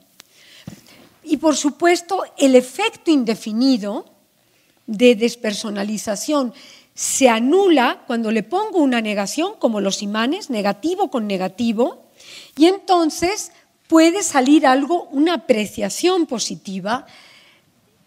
Es un buen vino y no es un vino cualquiera. Es decir, es muy bueno. Estamos jugando la misma forma, los opuestos se tocan. Las mismas formas en, español, también es una rareza de la lengua española que las mismas formas, una rareza compartida con el portugués, es nuestra lengua prima, hermana, hermana casi. Si no fuera por la fonología, por la fonética, seríamos prácticamente una misma lengua y si no fuera por decisiones políticas a partir del siglo XV. O sea, los portugueses nunca han querido ser españoles, y menos desde el siglo XVI. Pero si no fuera por la fonética y por la política, compartimos todo. Por eso se llama la Ibero-Romania Occidental. Y el catalán queda fuera, siempre quedó fuera, más allá de las implicaciones políticas. Siempre, sintácticamente quedó fuera. Eh, y vean usted que hemos dicho aquí que es la forma reverencial de respeto cuya etimología muestra la reverencialidad, vuestra merced que da a usted, es una forma de tratamiento distante, por supuesto, pero en América hay un tratamiento de cercanía que se llama ustedeo. los reyes de esta cercanía con usted son los colombianos, fundamentalmente también los costarricenses, y pueden hablar de usted justamente, le hablan de usted a la persona con la que tienen más intimidad. Los opuestos se tocan y por supuesto en México también es la forma de la intimidad. Se le habla de usted al niño cuando se le quiere a ver usted y por supuesto vean qué mejor esta canción, usted es la culpable de todas mis angustias, usted me desespera, me mata, me enloquece. Eso dan ganas de decírselo al jefe, cuando siempre lo digo así, sin duda, pero uno es precavido y no dice estas cosas porque si lo corren a uno del trabajo. Pero la canción muestra la intimidad. Esto no se puede decir si no es en la intimidad. Usted me enloquece, usted me mata. Lo, oigámoslo con el maestro Esparza y con la maestra Itzel Hernández.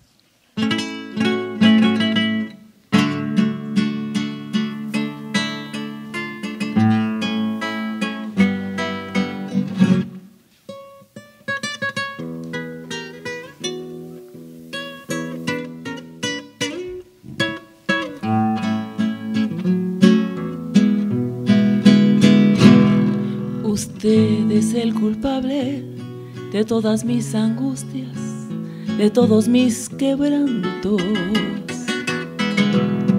Usted llenó mi vida de dulces inquietudes y amargos desencantos. Su amor es como un grito que llevo aquí en mi alma y aquí en mi corazón. Y soy aunque no quiera, esclava de sus ojos, juguete de su amor.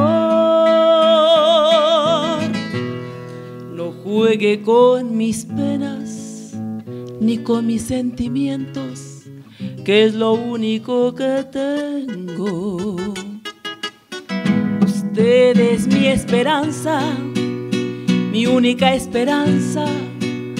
Comprenda de una vez, usted me desespera,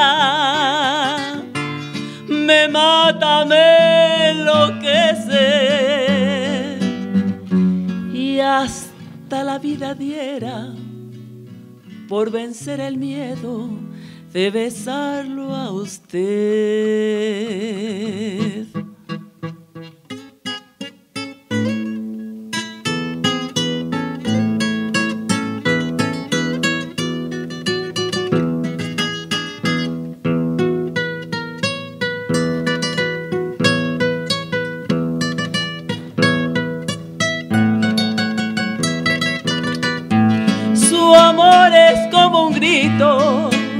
Llevo aquí en mi alma y aquí en mi corazón. Y soy aunque no quiera esclava de sus ojos, juguete de su amor. No juegue con mis penas ni con mis sentimientos, que es lo único que Usted es mi esperanza, mi única esperanza. Comprenda de una vez. Usted me desespera, me mata, me enloquece. Y hasta la vida diera por vencer el miedo de besarlo a usted.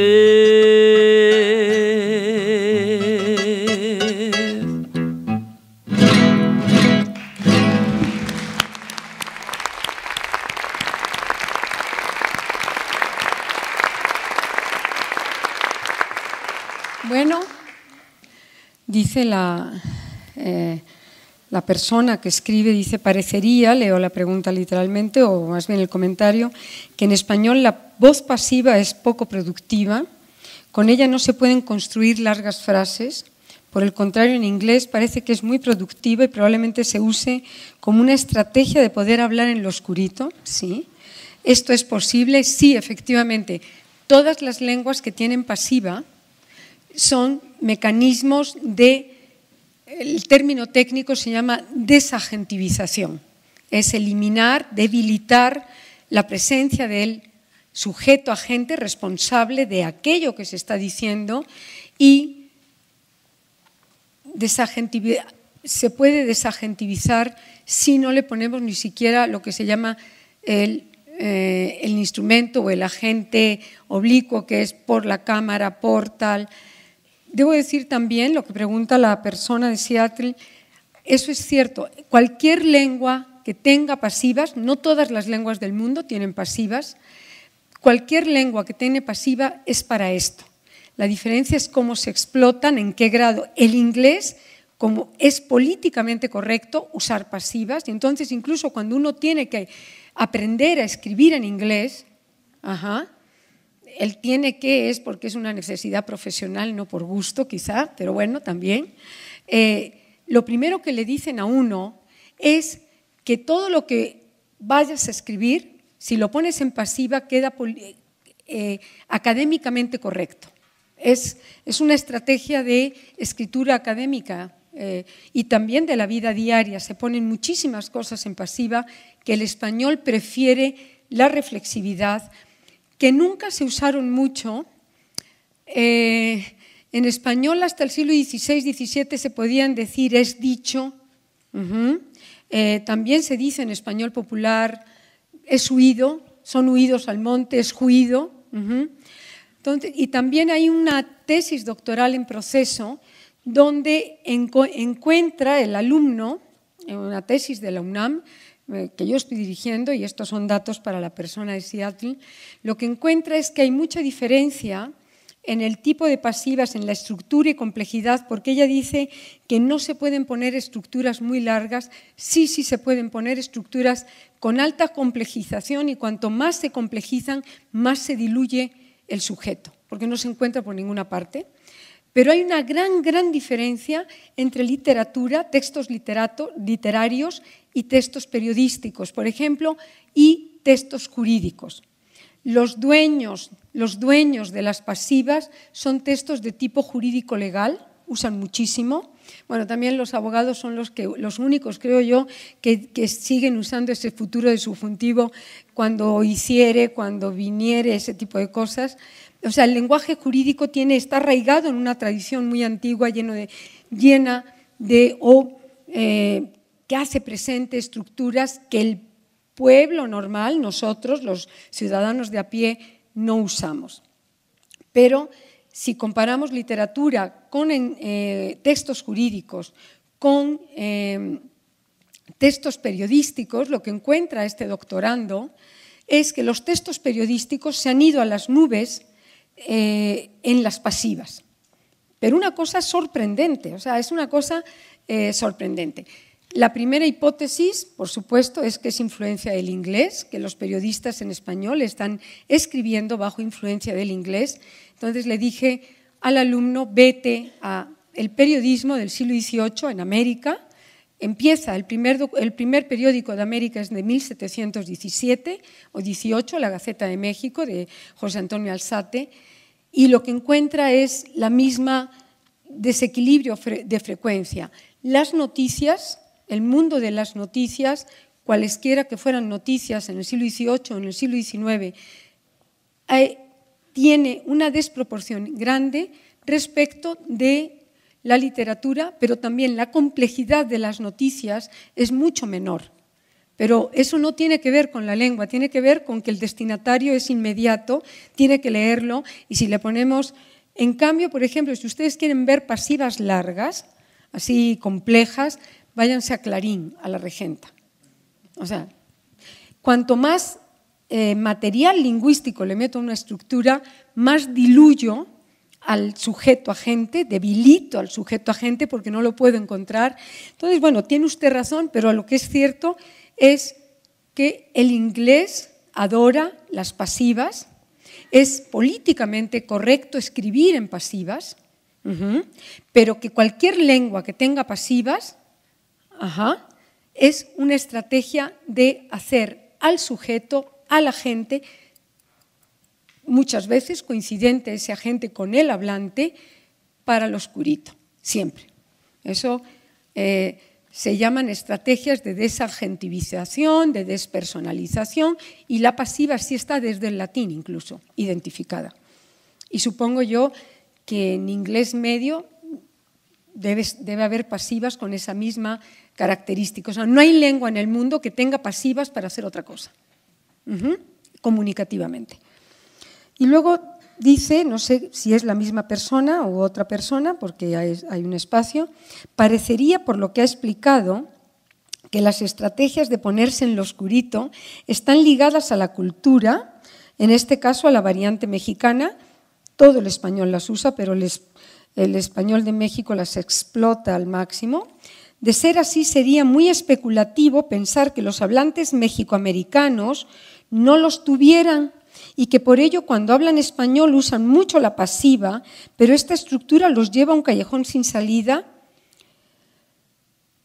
Vamos a ver, em, no sé prácticamente nada de lenguas en contacto, de language contact, o sea, de esa disciplina eh, y sobre todo de cómo se adquiere una segunda lengua y la otra va pasando cómo juegan, cómo se permean los vasos comunicantes de lengua meta y lengua fuente. Entonces, no le puedo decir si los mm, hablantes mexicoamericanos están en un callejón sin salida. Lo que sí le puedo decir es que se oyen eh, calcos semánticos y se oyen muchísimas pasivas en eh, migrantes, seguramente por influencia del inglés, pero también si las usan es para eh, debilitar a la gente, seguramente. no, hay pasivas en ninguna lengua del mundo que tenga pasivas. Si ustedes entran al Word Atlas eh, Languages, no, Word Atlas of Languages, Languages of the World, el WALS, WALS, W-A-L-S, eh, si entran y buscan Passive, passive Voice, van a ver que no todas las lenguas del mundo pueden hacer esto. Eh, murió fue muerto, fue muerto hasta hace poco, se podía decir, pues fue matado. Ajá, lo mataron, eh, fue matado. Y cuando las usan es para desagentivizar. Entonces, no le puedo contestar si los hablantes hispano eh, hablantes que usan español pero están en una situación de contacto, de lengua de contacto, eh, están en un callejón sin salida. es un tema lindísimo para averiguarlo. Hay que contrastar hablantes nativos de español, hablantes nativos de inglés y esa sería la estrategia de investigación. Y hablantes que son que están aprendiendo, que están en inmersión de inglés, pero que están aprendiendo o que se mueven entre dos lenguas y entonces cosas como te llamo para atrás, ese tipo de cosas que son muy frecuentes, eh, que son calcos semánticos, habría que trabajar con esos tres grupos de hablantes para poder contestar cabalmente a esta pregunta. No tengo respuesta para eso, si están en un callejón sin salida, eh, pero que el inglés usa pasivas porque es políticamente correcto, eso sin duda, porque no va a ser un islote en el mundo que usa pasivas. ¿Habrá alguna otra pregunta? Y ahorita terminamos con el léxico. ¿Cómo han influido las lenguas autóctonas, como el náhuatl, para enriquecer el idioma español? Eh, Saturnino Xinol, Malacate, desde la Dirección de Cultura y las Artes de Chilpancingo. Esto es un tema muy complejo sobre el que sí tengo opinión para la sintaxis. Por supuesto que han prestado léxico, eso lo dijimos el primer día de la primera sesión, le generaron léxico, pero incluso generaron léxico, le dieron léxico que se llevaron de aquí como tiza, que es un nahuatlismo, se lo llevaron los españoles y andan las tizas por muchas partes y a nosotros solo nos quedan las tizas del palo de billar eh, para el yeso. ¿no? Eh, pero en la sintaxis el tipo de préstamo, como les decía yo, el léxico es como un espejo de la identidad. Es así, señas directas de identidad. dime cómo hablas y te diré quién eres. También en la sintaxis, de una manera muy sutil, es dime cómo hablas y te diré quién eres. Es una paráfrasis de un viejo refrán, como saben ustedes, que yo una y otra vez repito. En la sintaxis, lo que dicen las gramáticas y lo que dicen los estudios que hablan de español de América, y hemos dicho aquí que no se puede hablar de español de América, tiene tal diversidad que hay que hablar de español en América, en tales zonas, etcétera, etcétera. Las gramáticas y estudios generales, eh, que hay bastantes sobre español americano, eh, cuando ven algún tipo de estructura, eh, como su casa de Juan, su prima, sus papás de Maru viven cerca de Chapultepec, eh, su sinfonía, bueno, su casa que tiene Juan, automáticamente dicen las gramáticas, puesto que solo lo usa el español americano, ya, que sí se usaban hasta el siglo XVI en el español de España. Las razones por las cuales se perdieron en España no vienen al caso ahorita, pero el asunto es que se mantienen aquí. Dicen automáticamente que es préstamo de lenguas indígenas porque en náhuatl, supongo que eh, habla náhuatl de guerrero, quizá la persona que me está preguntando, eh, por lo menos en el náhuatl de Milpa Alta, eh, para el que hay una gramática muy buena, se tiene que decir de María en su casa estoy yendo o de María su casa, su casa de María, es decir, en la misma frase tienen que estar poseedor y poseído. Y hay lenguas como el maya, pero tengo que llegar al, al guion de los, mm, del día pasado, hay lenguas como el maya, el maya de Yucatán, concretamente el yucateco, que no puede hablar del mundo sin poseerlo. Y tiene partículas para poseedor desconocido. O sea, yo no puedo decir, eh, ahí hay un árbol, sino que ese árbol tiene que ser de alguien o de algo puede ser del bosque, pero cuando no se sabe de quién es algo, se le pone un morfema que es poseedor desconocido. También lo hace uno de los mayas de Chiapas, no sé si es Tzotzil o Celtal, no sé cuál, pero es poseedor desconocido. Vamos a ver, volvamos a esto. O sea, es obvio que tienen una necesidad u obsesión, llamémosle por la posesión, igual que el español tiene, cada lengua tiene sus obsesiones. El maya es famoso por la, eh, la obsesión por los posesivos. Hasta tener un poseedor desconocido, eso es una joya, ¿no? Tenerle que poner una partícula de poseedor desconocido. Yo, ¿qué creo yo? Que estructuras que eran medievales y tenían frecuencia y uso en textos medievales sin ningún problema, como su casa de Juan, su boca de Celestina, su osadía de Calisto.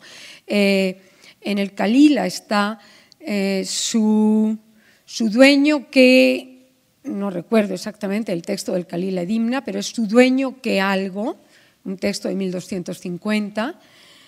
Creo que lo que ocurrió es que llegaron a México y efectivamente se reactivaron o sea, no es préstamo de lenguas indígenas y lo que hizo el náhuatl eh, para el altiplano fue enriquecer no solo el léxico, que hablamos el día pasado de sustitución léxica, incluso de léxico patrimonial, como mimar del latín, los mexicanos usamos apapachar más cotidianamente. Eh, lo que creo yo es que la influencia de las lenguas indígenas es una influencia profunda, eh, sutil en la sintaxis porque no se manifiesta en estructuras diferentes del español medieval, pero sí se manifiesta en unos eh, incrementos de frecuencia altísimos de estructuras medievales que en otras zonas que no ha habido contacto indígena, como Argentina, eh, bueno, el Río de la Plata, que no hubo cuando llegaron, ya no había indígenas ahí, prácticamente, cuando se funda el virreinato, por ejemplo.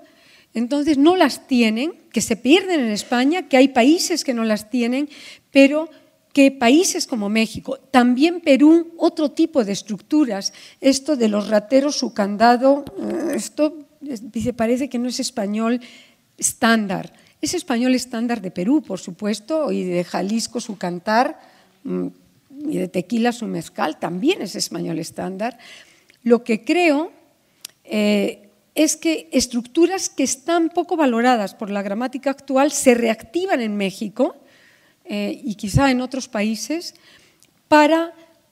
Mm, y esa reactivación es una sutil, un sutil eh, empuje que hay desde las lenguas indígenas. Unas lenguas indígenas que además muchas de ellas usan muchos reverenciales, los posesivos sirven para reverencialidad. ¿Qué pasó mi hijo?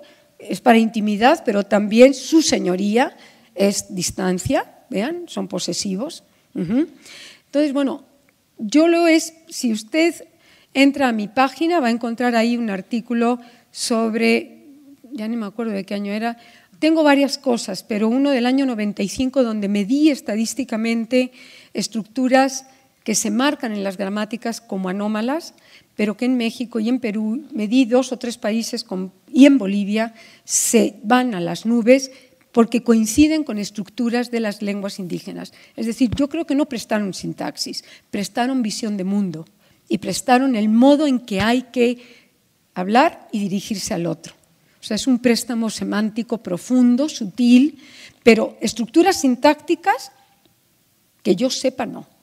Léxico muchísimo, morfología tampoco, prestaron las lenguas indígenas, pero prestaron eh, una semántica profunda que tiene que ver con visión del mundo y qué le es importante a un hablante americano. Y entonces es una reactivación por convergencia comunicativa sin duda. si tienen preguntas, comentarios, lo pueden dirigir a la dirección, ¿no? al correo de, la, de difusión y luego me los pasan. Bien, supongo que después de esta actuación y después de este eh, diálogo de gramática y lírica popular, nadie se acuerda de, haber traído el, el guion sobre la imagen, nada más y nada menos, la voz indio eh, y la imagen del indio en la historia del español de América. Voy a resumir muy brevemente para quienes no traen, para quienes no traen guion. Eh, les decía yo que la voz indio forma parte esencial de un conjunto de términos que son claves eh, para la construcción histórica de América entre otros, esclavo, mestizo, negro, español, ciudadano, colonia, eh, virreinato, independencia, eh, patria, nación y muchísimos más. Y que esta investigación se inserta en una disciplina de la historia, en una subdisciplina de la historia que se llama historia de los conceptos o historia de las ideas.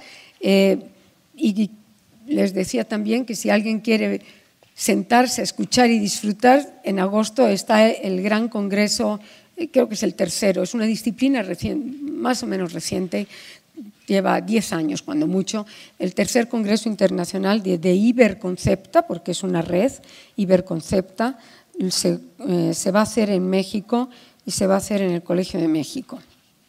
Bien, ¿por qué es importante buscar o ver cómo está codificado el indio en los corpus? Porque es la búsqueda de la otredad. O sea, lo que, está, buscando el que escribe es cómo codificar al otro y cómo quiere codificar al otro. Y lo que hace el investigador es quién es el otro. El otro, hablamos lengua española, y el otro es el que no hablaba lengua española en su origen. Eso es así, eh, nos pese a quien le pese. Bien, les decía que eh, hay como una progresión, se ve un cambio, hay un primer momento, fines del siglo XV, inicios hasta el XVII, hasta la segunda década, tercera década del XVII, es un proceso, es una aparición. El indio aparece en contextos de gran extrañeza porque les entra un mundo a ellos que no comprenden, es bien sabido por todos ustedes que tuvieron, que llamaron a, las, a los aguacates, les llamaban peras, que el pulque, eh, hay muchísimo, lo vamos a ver en la próxima sesión, cómo van adaptando indigenismos Eh, al pulque le llamaban cerveza y decían que parece un poco cerveza, pero no es tal porque amarga tal, pero no es tan ácido. Y es todo un tratado sobre el pulque en el siglo XVI, porque no saben cómo llamarlo aquello. Bueno, eh, un proceso de extrañeza. Voy a permitirme leer este ejemplo que es sorprendente de Pachacuti.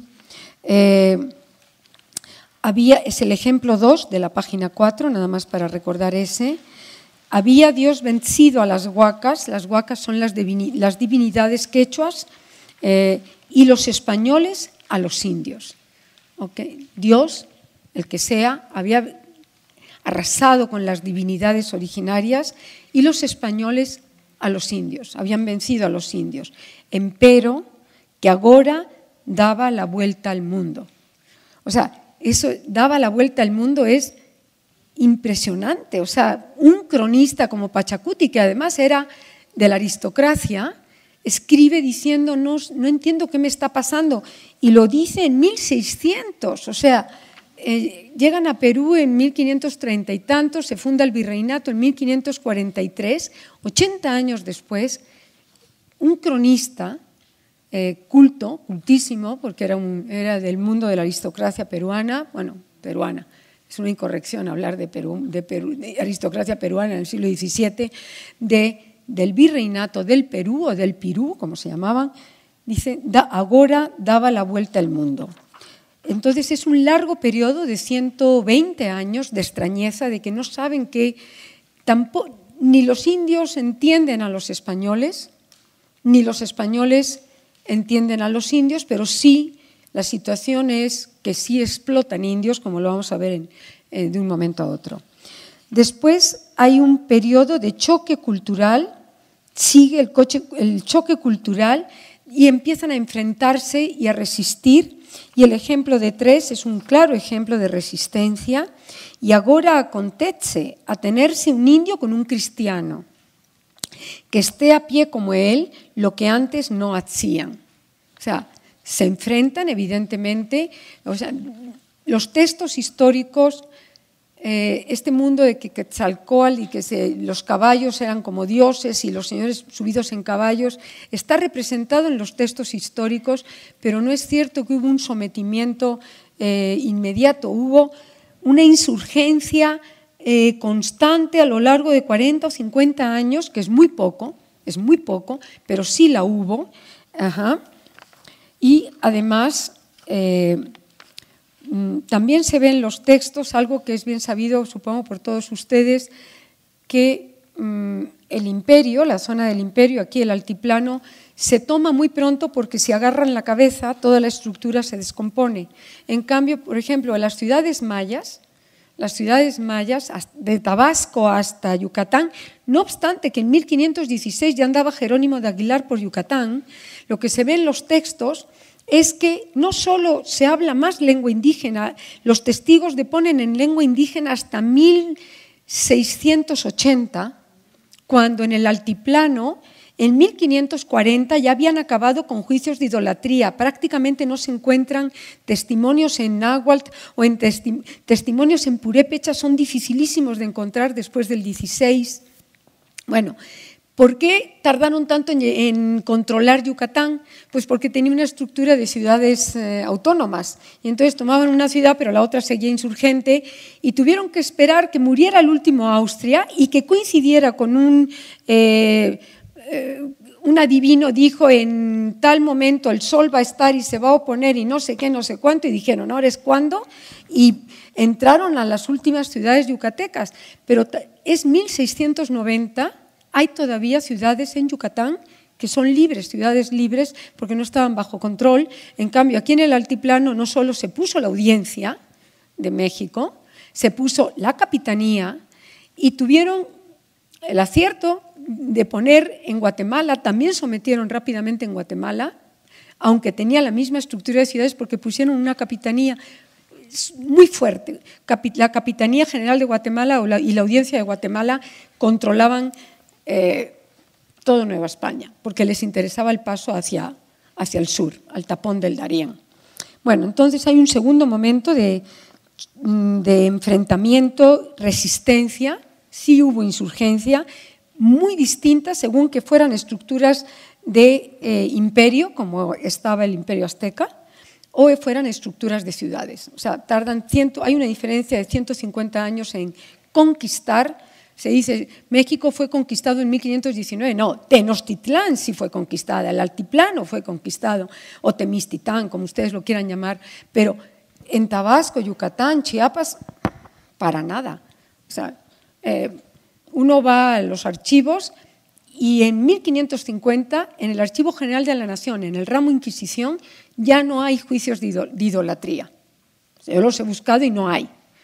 Eh, Zumárraga, los últimos juicios que hizo Fray Juan de Zumárraga, esto es historia, pero bueno, volvemos al... fueron 1543. Los últimos juicios de idolatría. No quiere decir que no queden eh, prácticas rituales, pero oficialmente ya acabaron con ellos.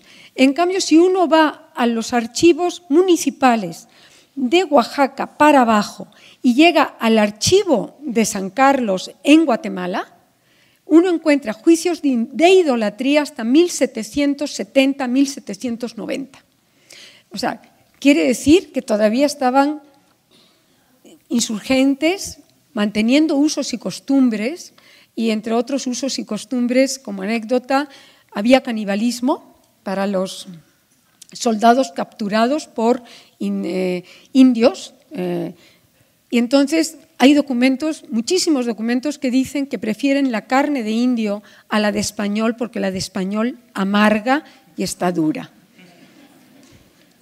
Están así los documentos de, eh, si ustedes entran a Cordiam y buscan carne, buscan carne, van a encontrar cómo valoraban el otro al otro las carnes respectivas. ¿Ok? Bien, hay un cuarto momento ya muy tardío que se documenta muy bien en el siglo XVIII, que es de sometimiento y explotación. Ajá.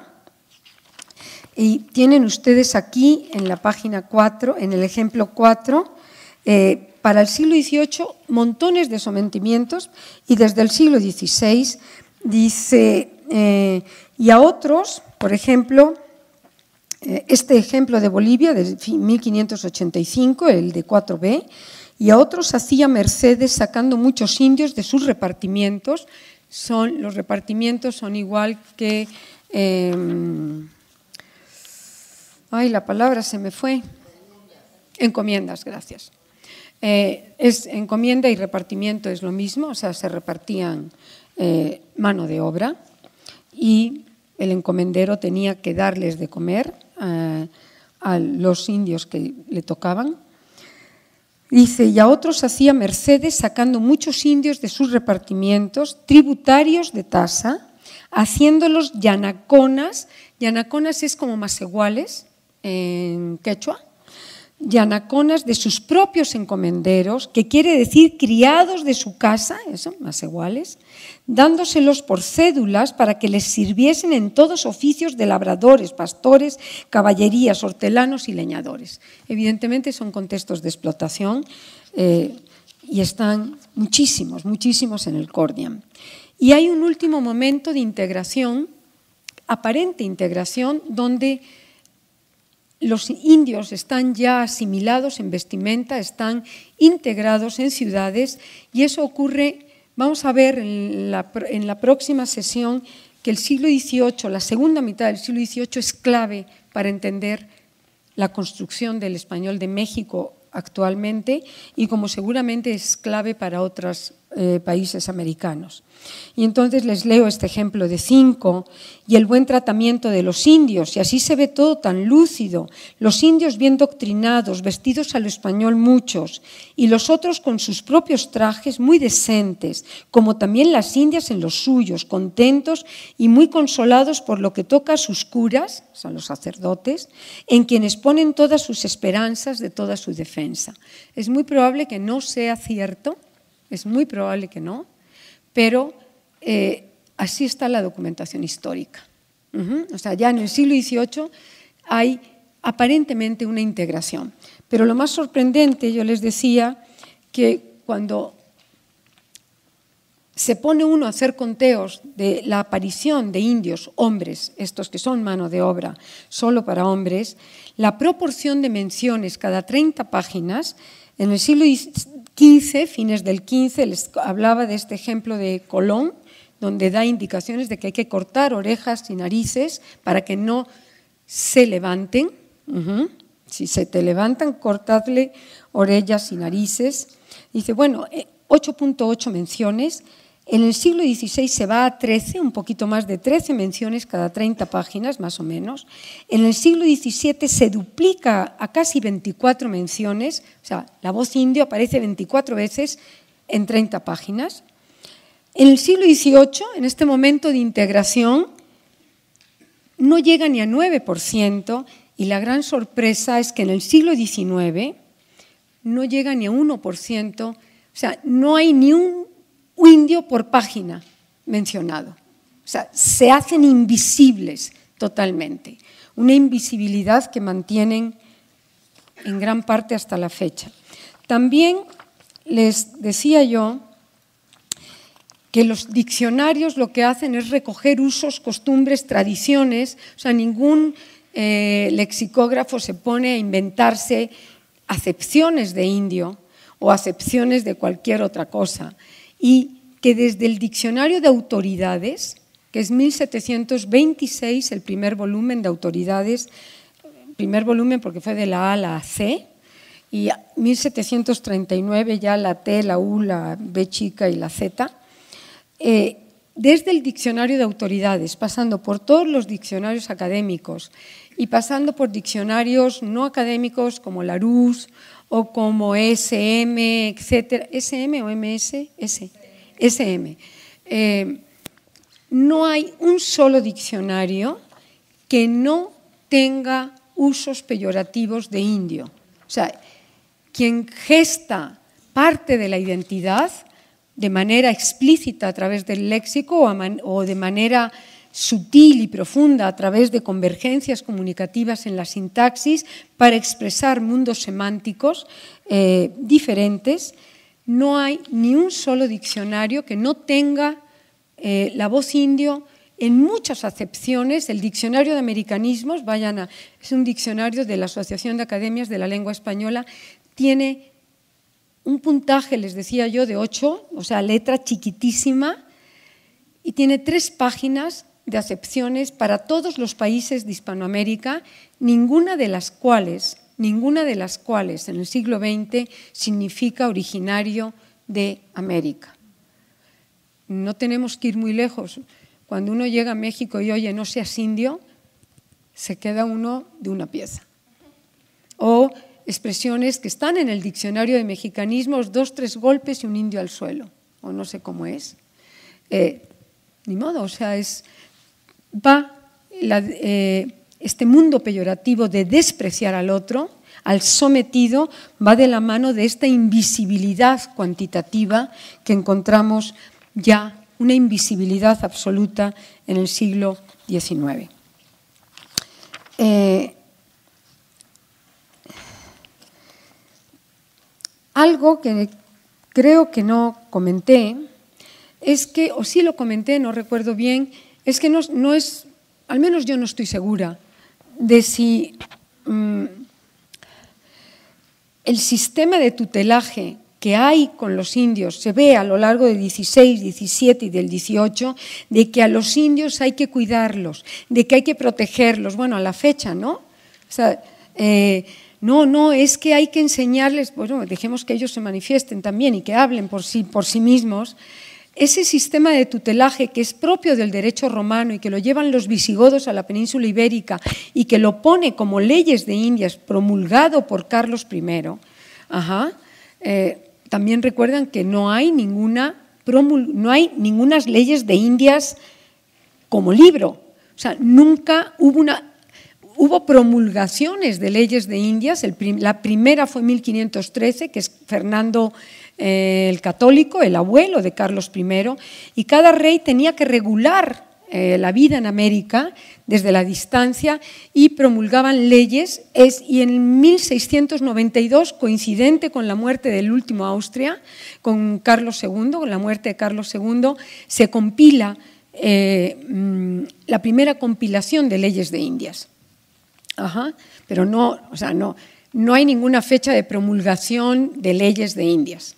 ¿Eh? para que les quede claro, porque muchos piensan, ¿cuándo se promulgaron las leyes de Indias? Pues a lo largo de 300 años de virreinato o colonia o reino o administración, porque cada, cada región eh, no necesariamente estaban adscritos a virreinatos.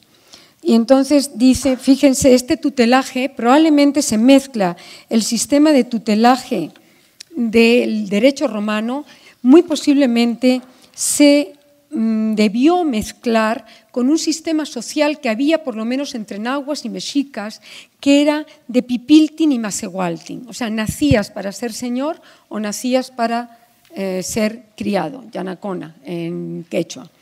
Probablemente se mezcló, o sea, se juntó el sistema de tutelaje que se ve claramente en algunas leyes de Indias, de que hay que guardar y hay que proteger a los indios, con la misma estructura muy vertical de al menos de nahuas y mexicas. Y si van ustedes a la página 6, ven el ejemplo de 7a, la principal cosa que habéis de hacer es guardar mucho a los indios y que no les sea fecho mal ni daño ni les sea tomada cosa contra su voluntad. Ese es el sistema de tutelaje y el sistema de tutelaje es también mm, vencer. O sea, yo te protejo, pero te pongo aquí la bota encima, evidentemente. Eh, veíamos, y creo que ahí nos quedamos, cómo se da el tratamiento, un tratamiento que es de respeto, pero no tan, tan respetuoso a lo largo, es un dom de dominus, del latín dominus, que se da desde el siglo, pues está el don, está empleado en las crónicas, en la las crónicas de los Trastámara del siglo XIV y parte del XV. Es muy frecuente llamar a don y doña a medio humanidad. O sea, no tiene que ser eh, jerárquicamente superior, sino es una cierta distancia nada más.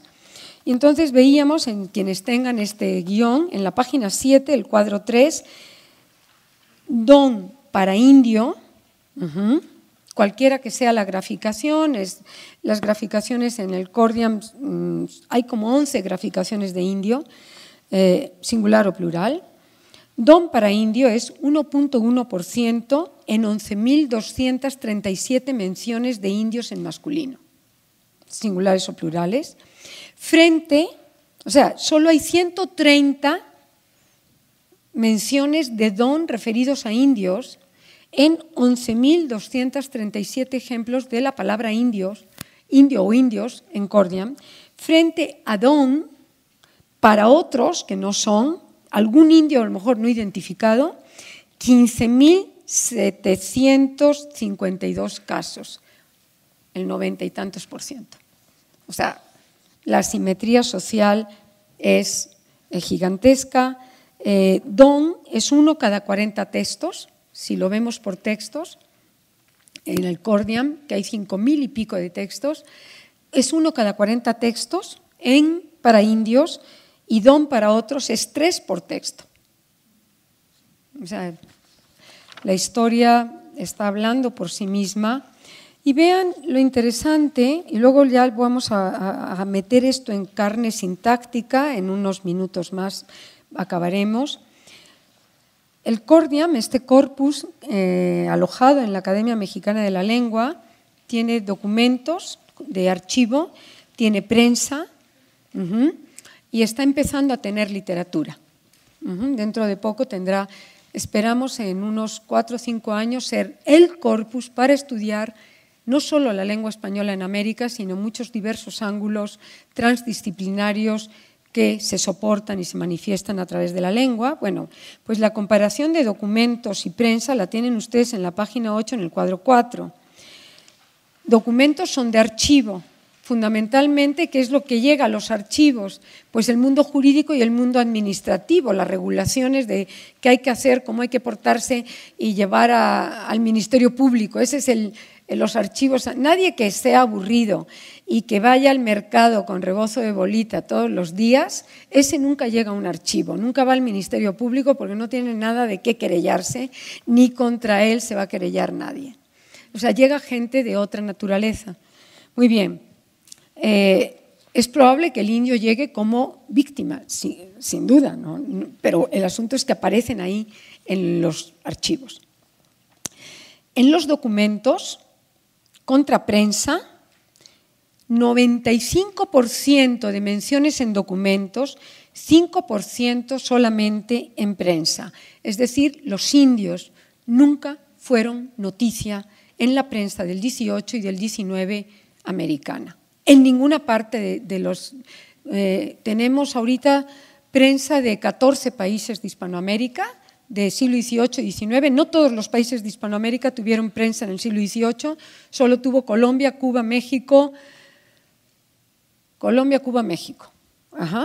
Eh, el primer periódico es de México, está la Gaceta de México está en el fondo reservado de la Biblioteca Nacional o de la Hemeroteca Nacional, en el fondo La Fragua, el director de la Biblioteca Nacional, el primer director nombrado por Benito Juárez, eh, cuando el, antiguo eh, templo de San Agustín se hace Biblioteca Nacional, funda, eh, nombran a La Fragua como director y él fue el que alimenta, su biblioteca alimenta los primeros fondos de la Biblioteca Nacional. Esos están en el fondo reservado. ¿Dónde está la Biblioteca Nacional? Para allá, para acá, ya ni sé. Ahí, junto, junto atrásito de la Nezahualcóyotl, al lado de la Nezahualcóyotl, por aquí cerca. Bueno, para allá, ¿no? pues si van al fondo reservado, que además es un placer, eh, y piden la Gaceta de México, en 1718 ya había prensa, el concepto de prensa diario, diario, así de diario, diario, diario, ese entra en el siglo XIX, o sea, de que apareciera diariamente. La prensa anda con una periodicidad de, semanal al principio, grosso modo. Bueno, pues miren, 95% de menciones de indios en los documentos y 5% en la prensa, es decir, los indios nunca fueron noticia para nadie ni para los ilustrados mexicanos, ni para la fragua, ni para el doctor em, Bartolache del Mercurio Volante, ni para José Antonio Alzate, nada. No fueron. O sea, construyen un mundo alrededor de este mundo indígena, pero ellos, los protagonistas de su lengua, no son...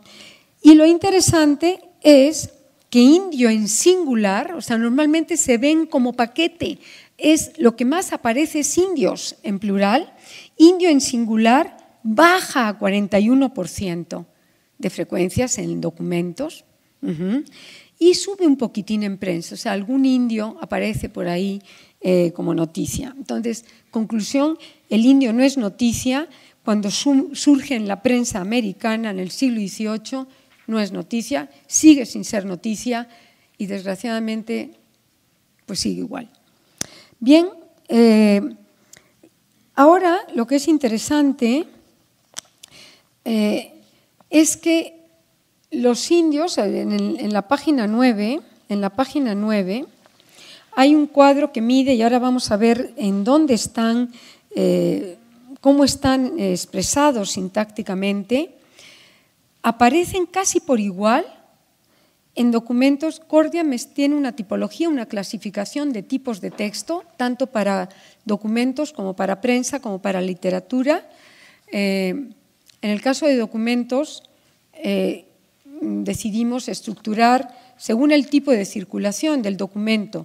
Jurídicos, cuando llegaban a, por un motivo legal, una querella o algún tipo de juicio. Administrativos, cuando eran para regular la vida eh, cotidiana, Cronísticos aparecen también en documentos cronísticos que no son, Bernal no está en documentos, está en literatura. O sea, no, no las crónicas, la cronística como género literario, sino textos donde empiezan a narrar Muchas veces narraban este mundo eh, americano distinto porque necesitaban pedirle luego una pensión a la corona. Y entonces empiezan a se van a las, así, empiezan a imaginar, es el imaginario, cuando uno lee eh, literatura del realismo mágico, uno ve, uno ve Cordian y dicen, bueno, es impresionante. Bueno, pues el asunto es que están por igual, o sea, eran importantes para el mundo cronístico, 45%, y hay otro que son documentos de particulares, 46% eh, entre crónicas y particulares, 54% en el mundo jurídico y administrativo. Quiere decir que, que aparecen más en asuntos de juicios y para regulamientos, pero también aparecen en crónicas, quiere decir que sí son parte importante, importantísima de la construcción de América. Y lo que más me interesa es, eh, para concluir ya y entrar el próximo día al siglo XVIII, que eh, yo creo, y así lo he expresado en libros en artículos, es el momento clave de la construcción de la identidad americana para México. Eh, la individuación, ¿aparecen en singular o plural? Pues aparecen fundamentalmente en plural, pero algo así como 90% mm, eh, en el siglo XV, 86% en el XVI en plural, va bajando y se van individuando, van apareciendo, van apareciendo más indios en singular y eso quiere decir que se están integrando o el otro, el español, lo está reconociendo como persona individual, pero poco. El promedio es que hay 77% de indios en plural en ese corpus que es muy, muy grande, contra 23% de indio, un indio en singular. Eh, los adjetivos que llevan los indios es también interesante, muy tempranamente son naturales, así se les llamaba, los naturales, pero también fíjense adjetivos muy frecuentes, pobres, miserables, para mujeres putas, hermosas también, indios tributarios, indios infieles, indios gentiles, indios cristianos, indios buenos, indios enemigos, indios perpetuos, los tenían en perpetuidad. Hay muchos juicios eh, que son cuando uno no ha nacido en este país, y aunque haya nacido en este país, es difícil, eh, a los indios se les cerraba según la encomienda. Y entonces se les cerraba, hay muchísimos juicios de indias e indios errados del rostro. O sea, eso es algo normal en el siglo XVI y XVII. Eh, y, uno ve esos, eh, esos juicios entonces, si ustedes buscan indio, por ejemplo, con Y, indios, errados, sin, eh, escrito con H o sin H, o sea, errados de hierro, pero no hay ortografía hasta el siglo XVIII, entonces se pueden escribir de muchas maneras. Aparecen muchísimas indias cerradas del rostro, muchísimos indios cerrados del rostro, a los cuales además se les califica como miserables, pobres, infieles, gentiles, cristianos, eh, enemigos, y esos indios cerrados del rostro son indios perpetuos. Y entonces hay juicios donde la hija o la nieta o el hijo o el nieto entra a, pedir que se le libere porque él ya no es cerrado del rostro, su abuelo sí lo fue, él ya no es. Y entonces son pleitos que duran años y mientras pues siguen en encomiendas el nieto. El... Y también los negros es la misma... Eh, la misma historia y muy pronto fueron equiparados, en vez de ser una, los naturales, muy pronto aparecen en coordinaciones de indios mestizos, indios negros y zambos. El zambo era una mezcla de negro con indio. Indios, negros y zambos, así, en paquete.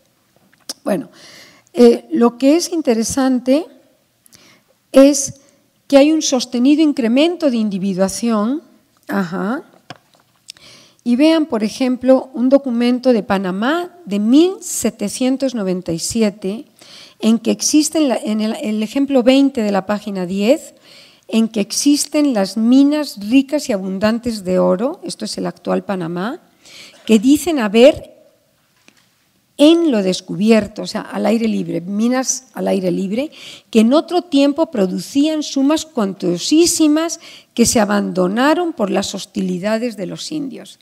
Es decir, la insurgencia está hasta en 1797 y eh, montones de indios cerrados del rostro, pero Eh, y otra, otra cosa que, que, me di para ver la, la, identidad del indio, y con esto casi estamos eh, acabando, es cómo se identificaban. Primero, ¿aparece identificado o no aparece identificado? O sea, aparece con nombre, con apellido, aparece descrito o no aparece descrito.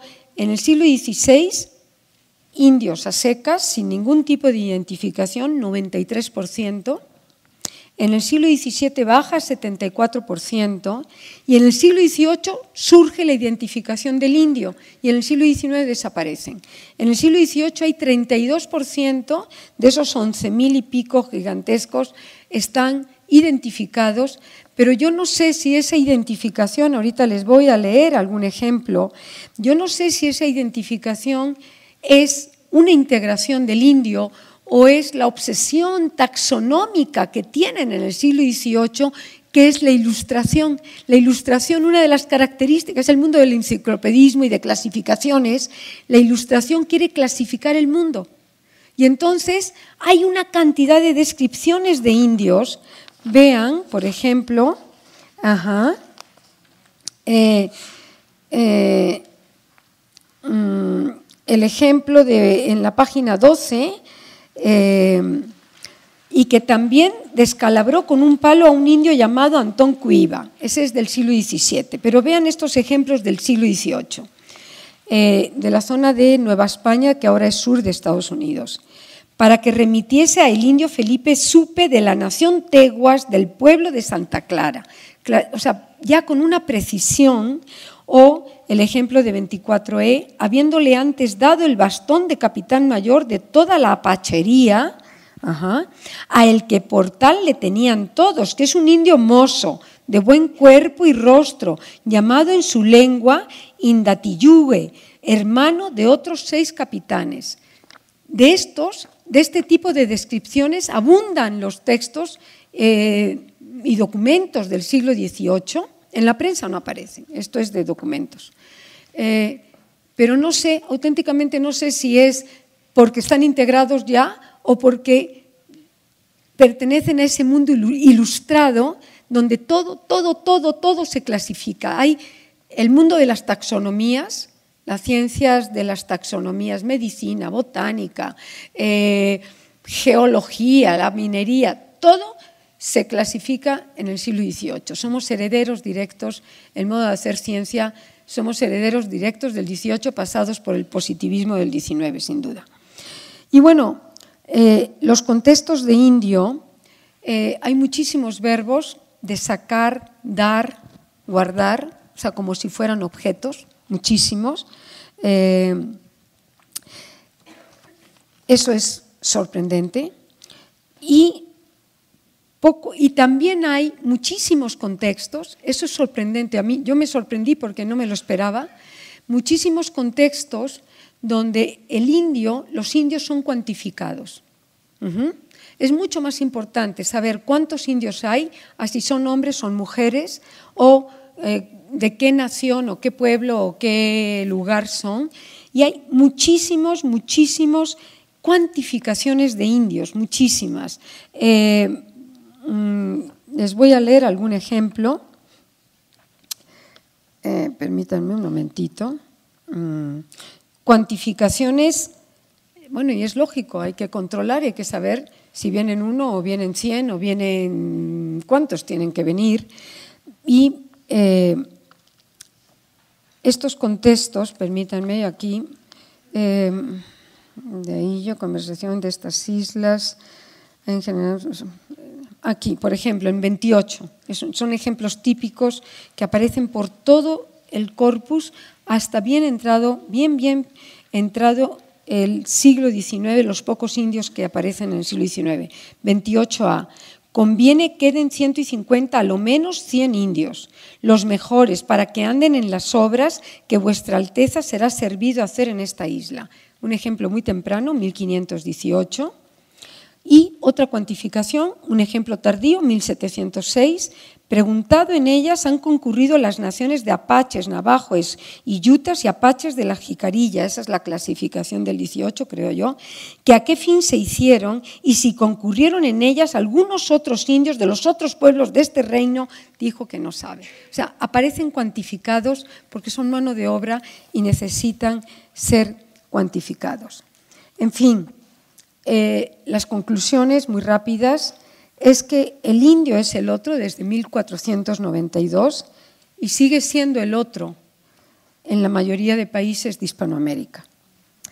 Eh, el otro incluso en países de fuerte, fuerte presencia indígena, como puede ser México, Guatemala, eh, Perú, Bolivia, no digamos, Ecuador, sigue siendo el otro y estos datos son para la prensa y para los documentos de los 19 países, o sea, no está constreñido. Es el que construye, sin duda, la base que construye la identidad y la lengua, pero está conceptualizado desde muy tempranamente, desde muchas perspectivas, pero siempre negativas, casi siempre negativas. Eh, muy, pocos, muy pocos ejemplos como nativos, como naturales, los historiadores dicen, no, no, es que los indios eran los naturales. Digo, pues entren al Cordiam, que son documentos de archivo, cuatro mil y pico, con cinco millones de palabras, y van a ver que el adjetivo natural casi no hay. Entonces, bueno, sí, es el modo correcto de llamarlos, y luego ya en el siglo XX indígenas, pero son invisibles totalmente.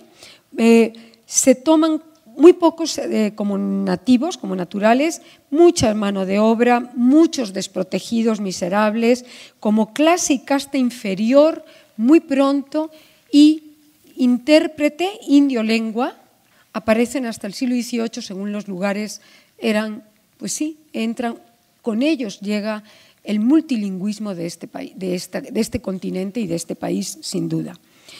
Eh, hay una asociación estadística positiva de que la prensa no consideró al indio nunca, sino el mundo jurídico y administrativo. Y también unas conclusiones es que desde que los diccionarios son diccionarios, eh, o tenemos el primer diccionario que es el de autoridad, es el primero, primero como estructura de diccionario es el de Covarrubias, el tesoro de Sebastián de Covarrubias, de 1647 o por ahí. Eh, pero el diccionario académico, los primeros que se llaman diccionarios, el otro era un tesoro. Eh, en los diccionarios, desde que se llaman diccionarios, no tienen acepciones positivas de indio. O sea, es una cosa sorprendente. Son cientos de acepciones negativas, irrisorias, despreciativas, despectivas. Y bueno, esto es una visión, aquí tienen el documento, pueden, es una invitación también a que usen, a que entren a y curiosen en la historia de nuestro subcontinente. Muchas gracias y pasamos a unas preguntas.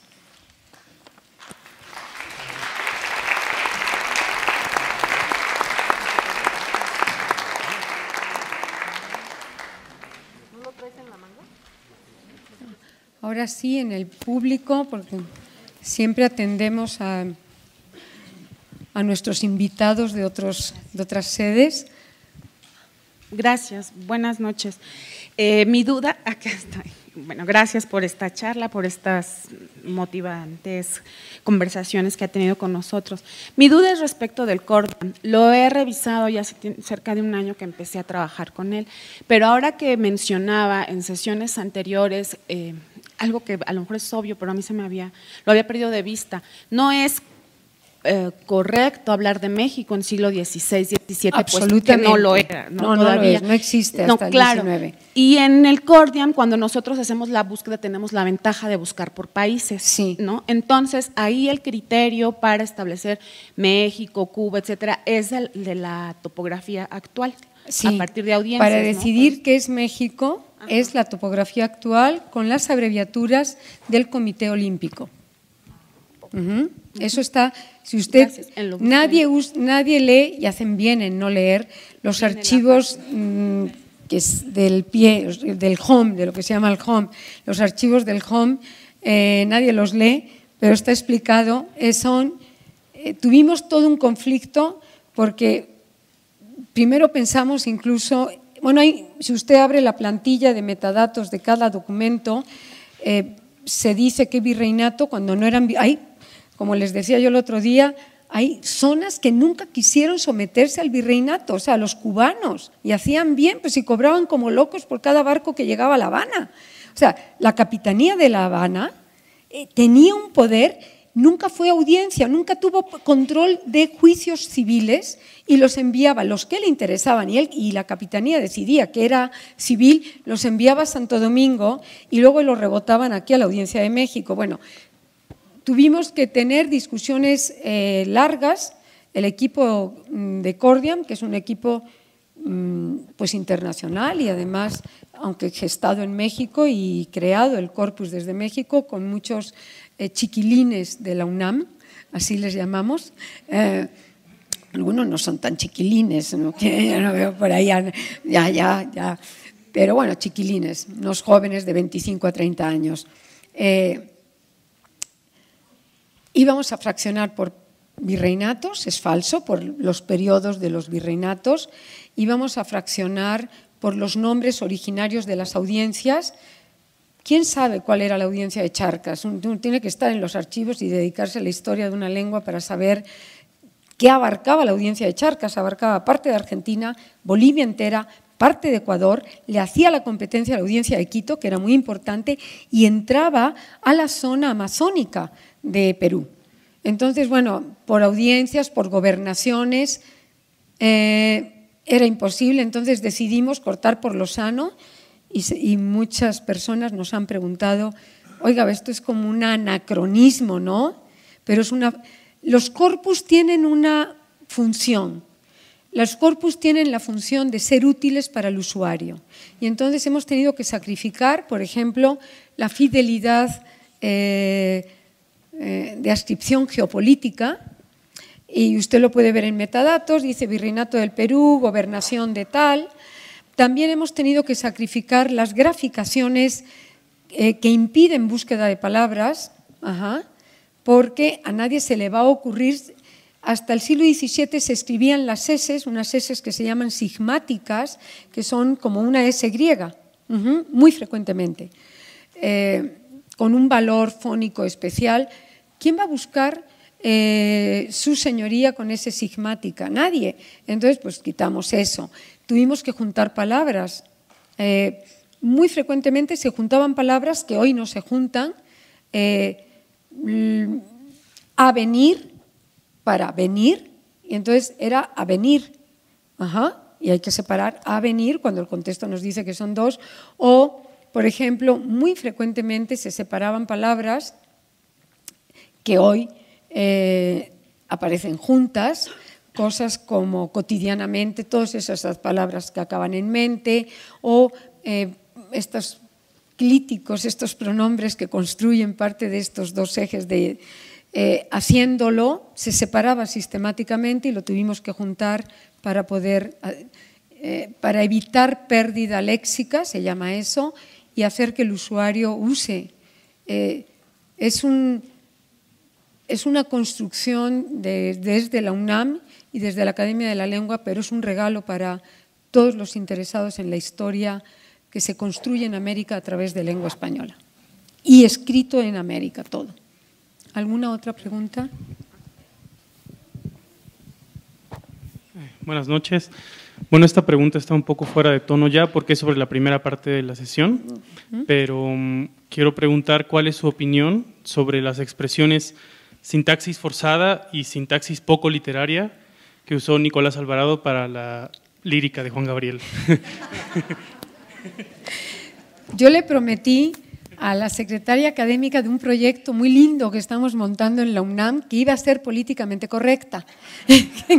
Me dijo, jefa, no vaya a decir que, mm, que eso de que mm, igualdad es que te llamen arquitecta, no vaya a salir con esas, jefa. Ya me, lo, puso en un WhatsApp y le dije, sí, prometido, prometido. Vamos a ver, eh, a mí me parece un desconocimiento total de la gramática. Punto, ya. Pero qué necesidad pero qué necesidad realmente, ¿no? Eh, Juanga va camino de hacerse lírica tradicional, pero así, así. O sea, va a pasar del mundo de la lírica popular, con autoría y derechos autoriales, muy a pesar de sus herederos, va a pasar, está pasando ya al mundo de, la lírica tradicional, del anonimato que todos eh, sabemos. Bueno, debo decir doy clase en la facultad los, los, viernes en licenciatura, sigo dando clase de licenciatura porque les digo a mis alumnos, digo, yo llego aquí como un acto de vampirismo, me rejuvenezco con ustedes, y vengo así con el ánimo a las 10, tengo que llegar a las 10 de la mañana, pero salgo a la una de la tarde rejuvenecida de mis alumnos, quizá algunos de ustedes han sido alumnos míos. Eh, ¿Perdón? ¿Por qué? Ah, ser alumno mío. A eso dicen ellos también. Eh, qué sabia es usted, ¿eh? Lo mismo. En Radio Pasillo dicen lo mismo. Eh, debo decirme que me reí muchísimo porque en esta polémica de qué es, qué es Braulio lírica, qué, cómo era. Eh, sintaxis forzada y sintaxis poco literaria. Entonces se dedicaron alumnos de la facultad ya del último semestre, de sexto, séptimo y octavo, en lengua y literaturas hispánicas, se dedicaron a mostrar que escribía en decasílabos mejor que Garcilaso de la Vega. y aparecieron los pasillos de la facultad después de este asunto de la sintaxis forzada. Bueno, escandalizados todos, pero además ya Juanga, bueno, Juanga era, los sonetos de Quevedo se quedaban, ya eran nada. Entonces era muy divertido porque conozco a algunos de los alumnos de estos que rejuvenecen en, y en, el vampirismo y yo les decía, pero se están pasando ustedes tantito, ¿no? Como tres pueblos, se están pasando allá, ya.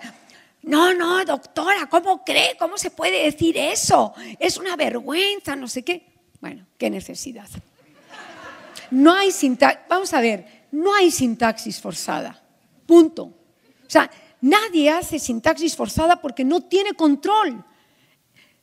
¿Saben quién hacía sintaxis que no es forzada, que es les sale del alma? El Quijote. El Quijote tiene un sistema, esto es para el año que entra, pero tres minutos.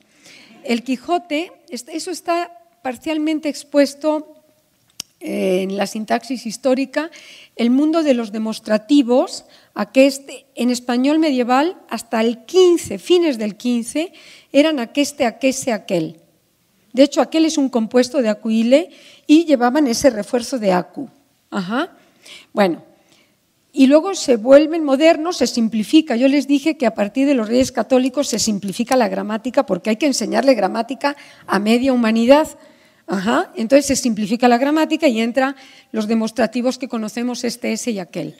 Bueno, y también hay un sistema de tiempos, que había un sistema temporal medieval muy claro para tiempos perfectos. Lo vamos a ver parcialmente en la siguiente clase. Bueno, el Quijote es el único texto que yo conozco eh, donde tiene un control perfecto de sistemas gramaticales medieval cuando habla Don Quijote e imagina a Don Quijote y un sistema renacentista totalmente moderno cuando habla Sancho, cuando hablan los venteros, cuando habla la gente. O sea, claramente el sistema de demostrativos del Quijote, que es un sistema de tres, porque luego se redujo, no solo se le quitaron los refuerzos, sino que además se redujo de tres este, ese, aquel, se redujo fundamentalmente a dos, este y ese. Dame el de ese, el de ese. ¿Quién dice aquel? Pues los cultos de la sintaxis forzada, seguramente. Bueno, y entonces el Quijote es una exquisitez, porque tiene, cuando es la vida real, es un sistema de dos demostrativos y demostrativos simples. Cuando es Don Quijote en su mundo imaginario, ir aconsejándole a Sancho, tiene un sistema de tres demostrativos y además demostrativos medievales reforzados. Eso es una exquisitez, eso no es sintaxis forzada. Eso es que seguramente don Miguel de Cervantes vivía por las tabernas y oía y se quería, por supuesto, se reía del mundo medieval a través de pero son dos mundos en la gramática, pero eso para la siguiente, ¿no? Para el siguiente año, dos mundos y también tiene dos mundos en el sistema temporal. Eso yo no se lo he visto a ningún a un escritor. No hay sintaxis forzada. Hay que tener la talla de Cervantes para poder controlar esas finuras. Entonces, lo de sintaxis forzada, voy a ser políticamente correcta y solo voy a decir que qué necesidad si no existe tal cosa. Ya. Muchísimas gracias, ha sido un placer. Acabamos el próximo día. grandesmaestros.unam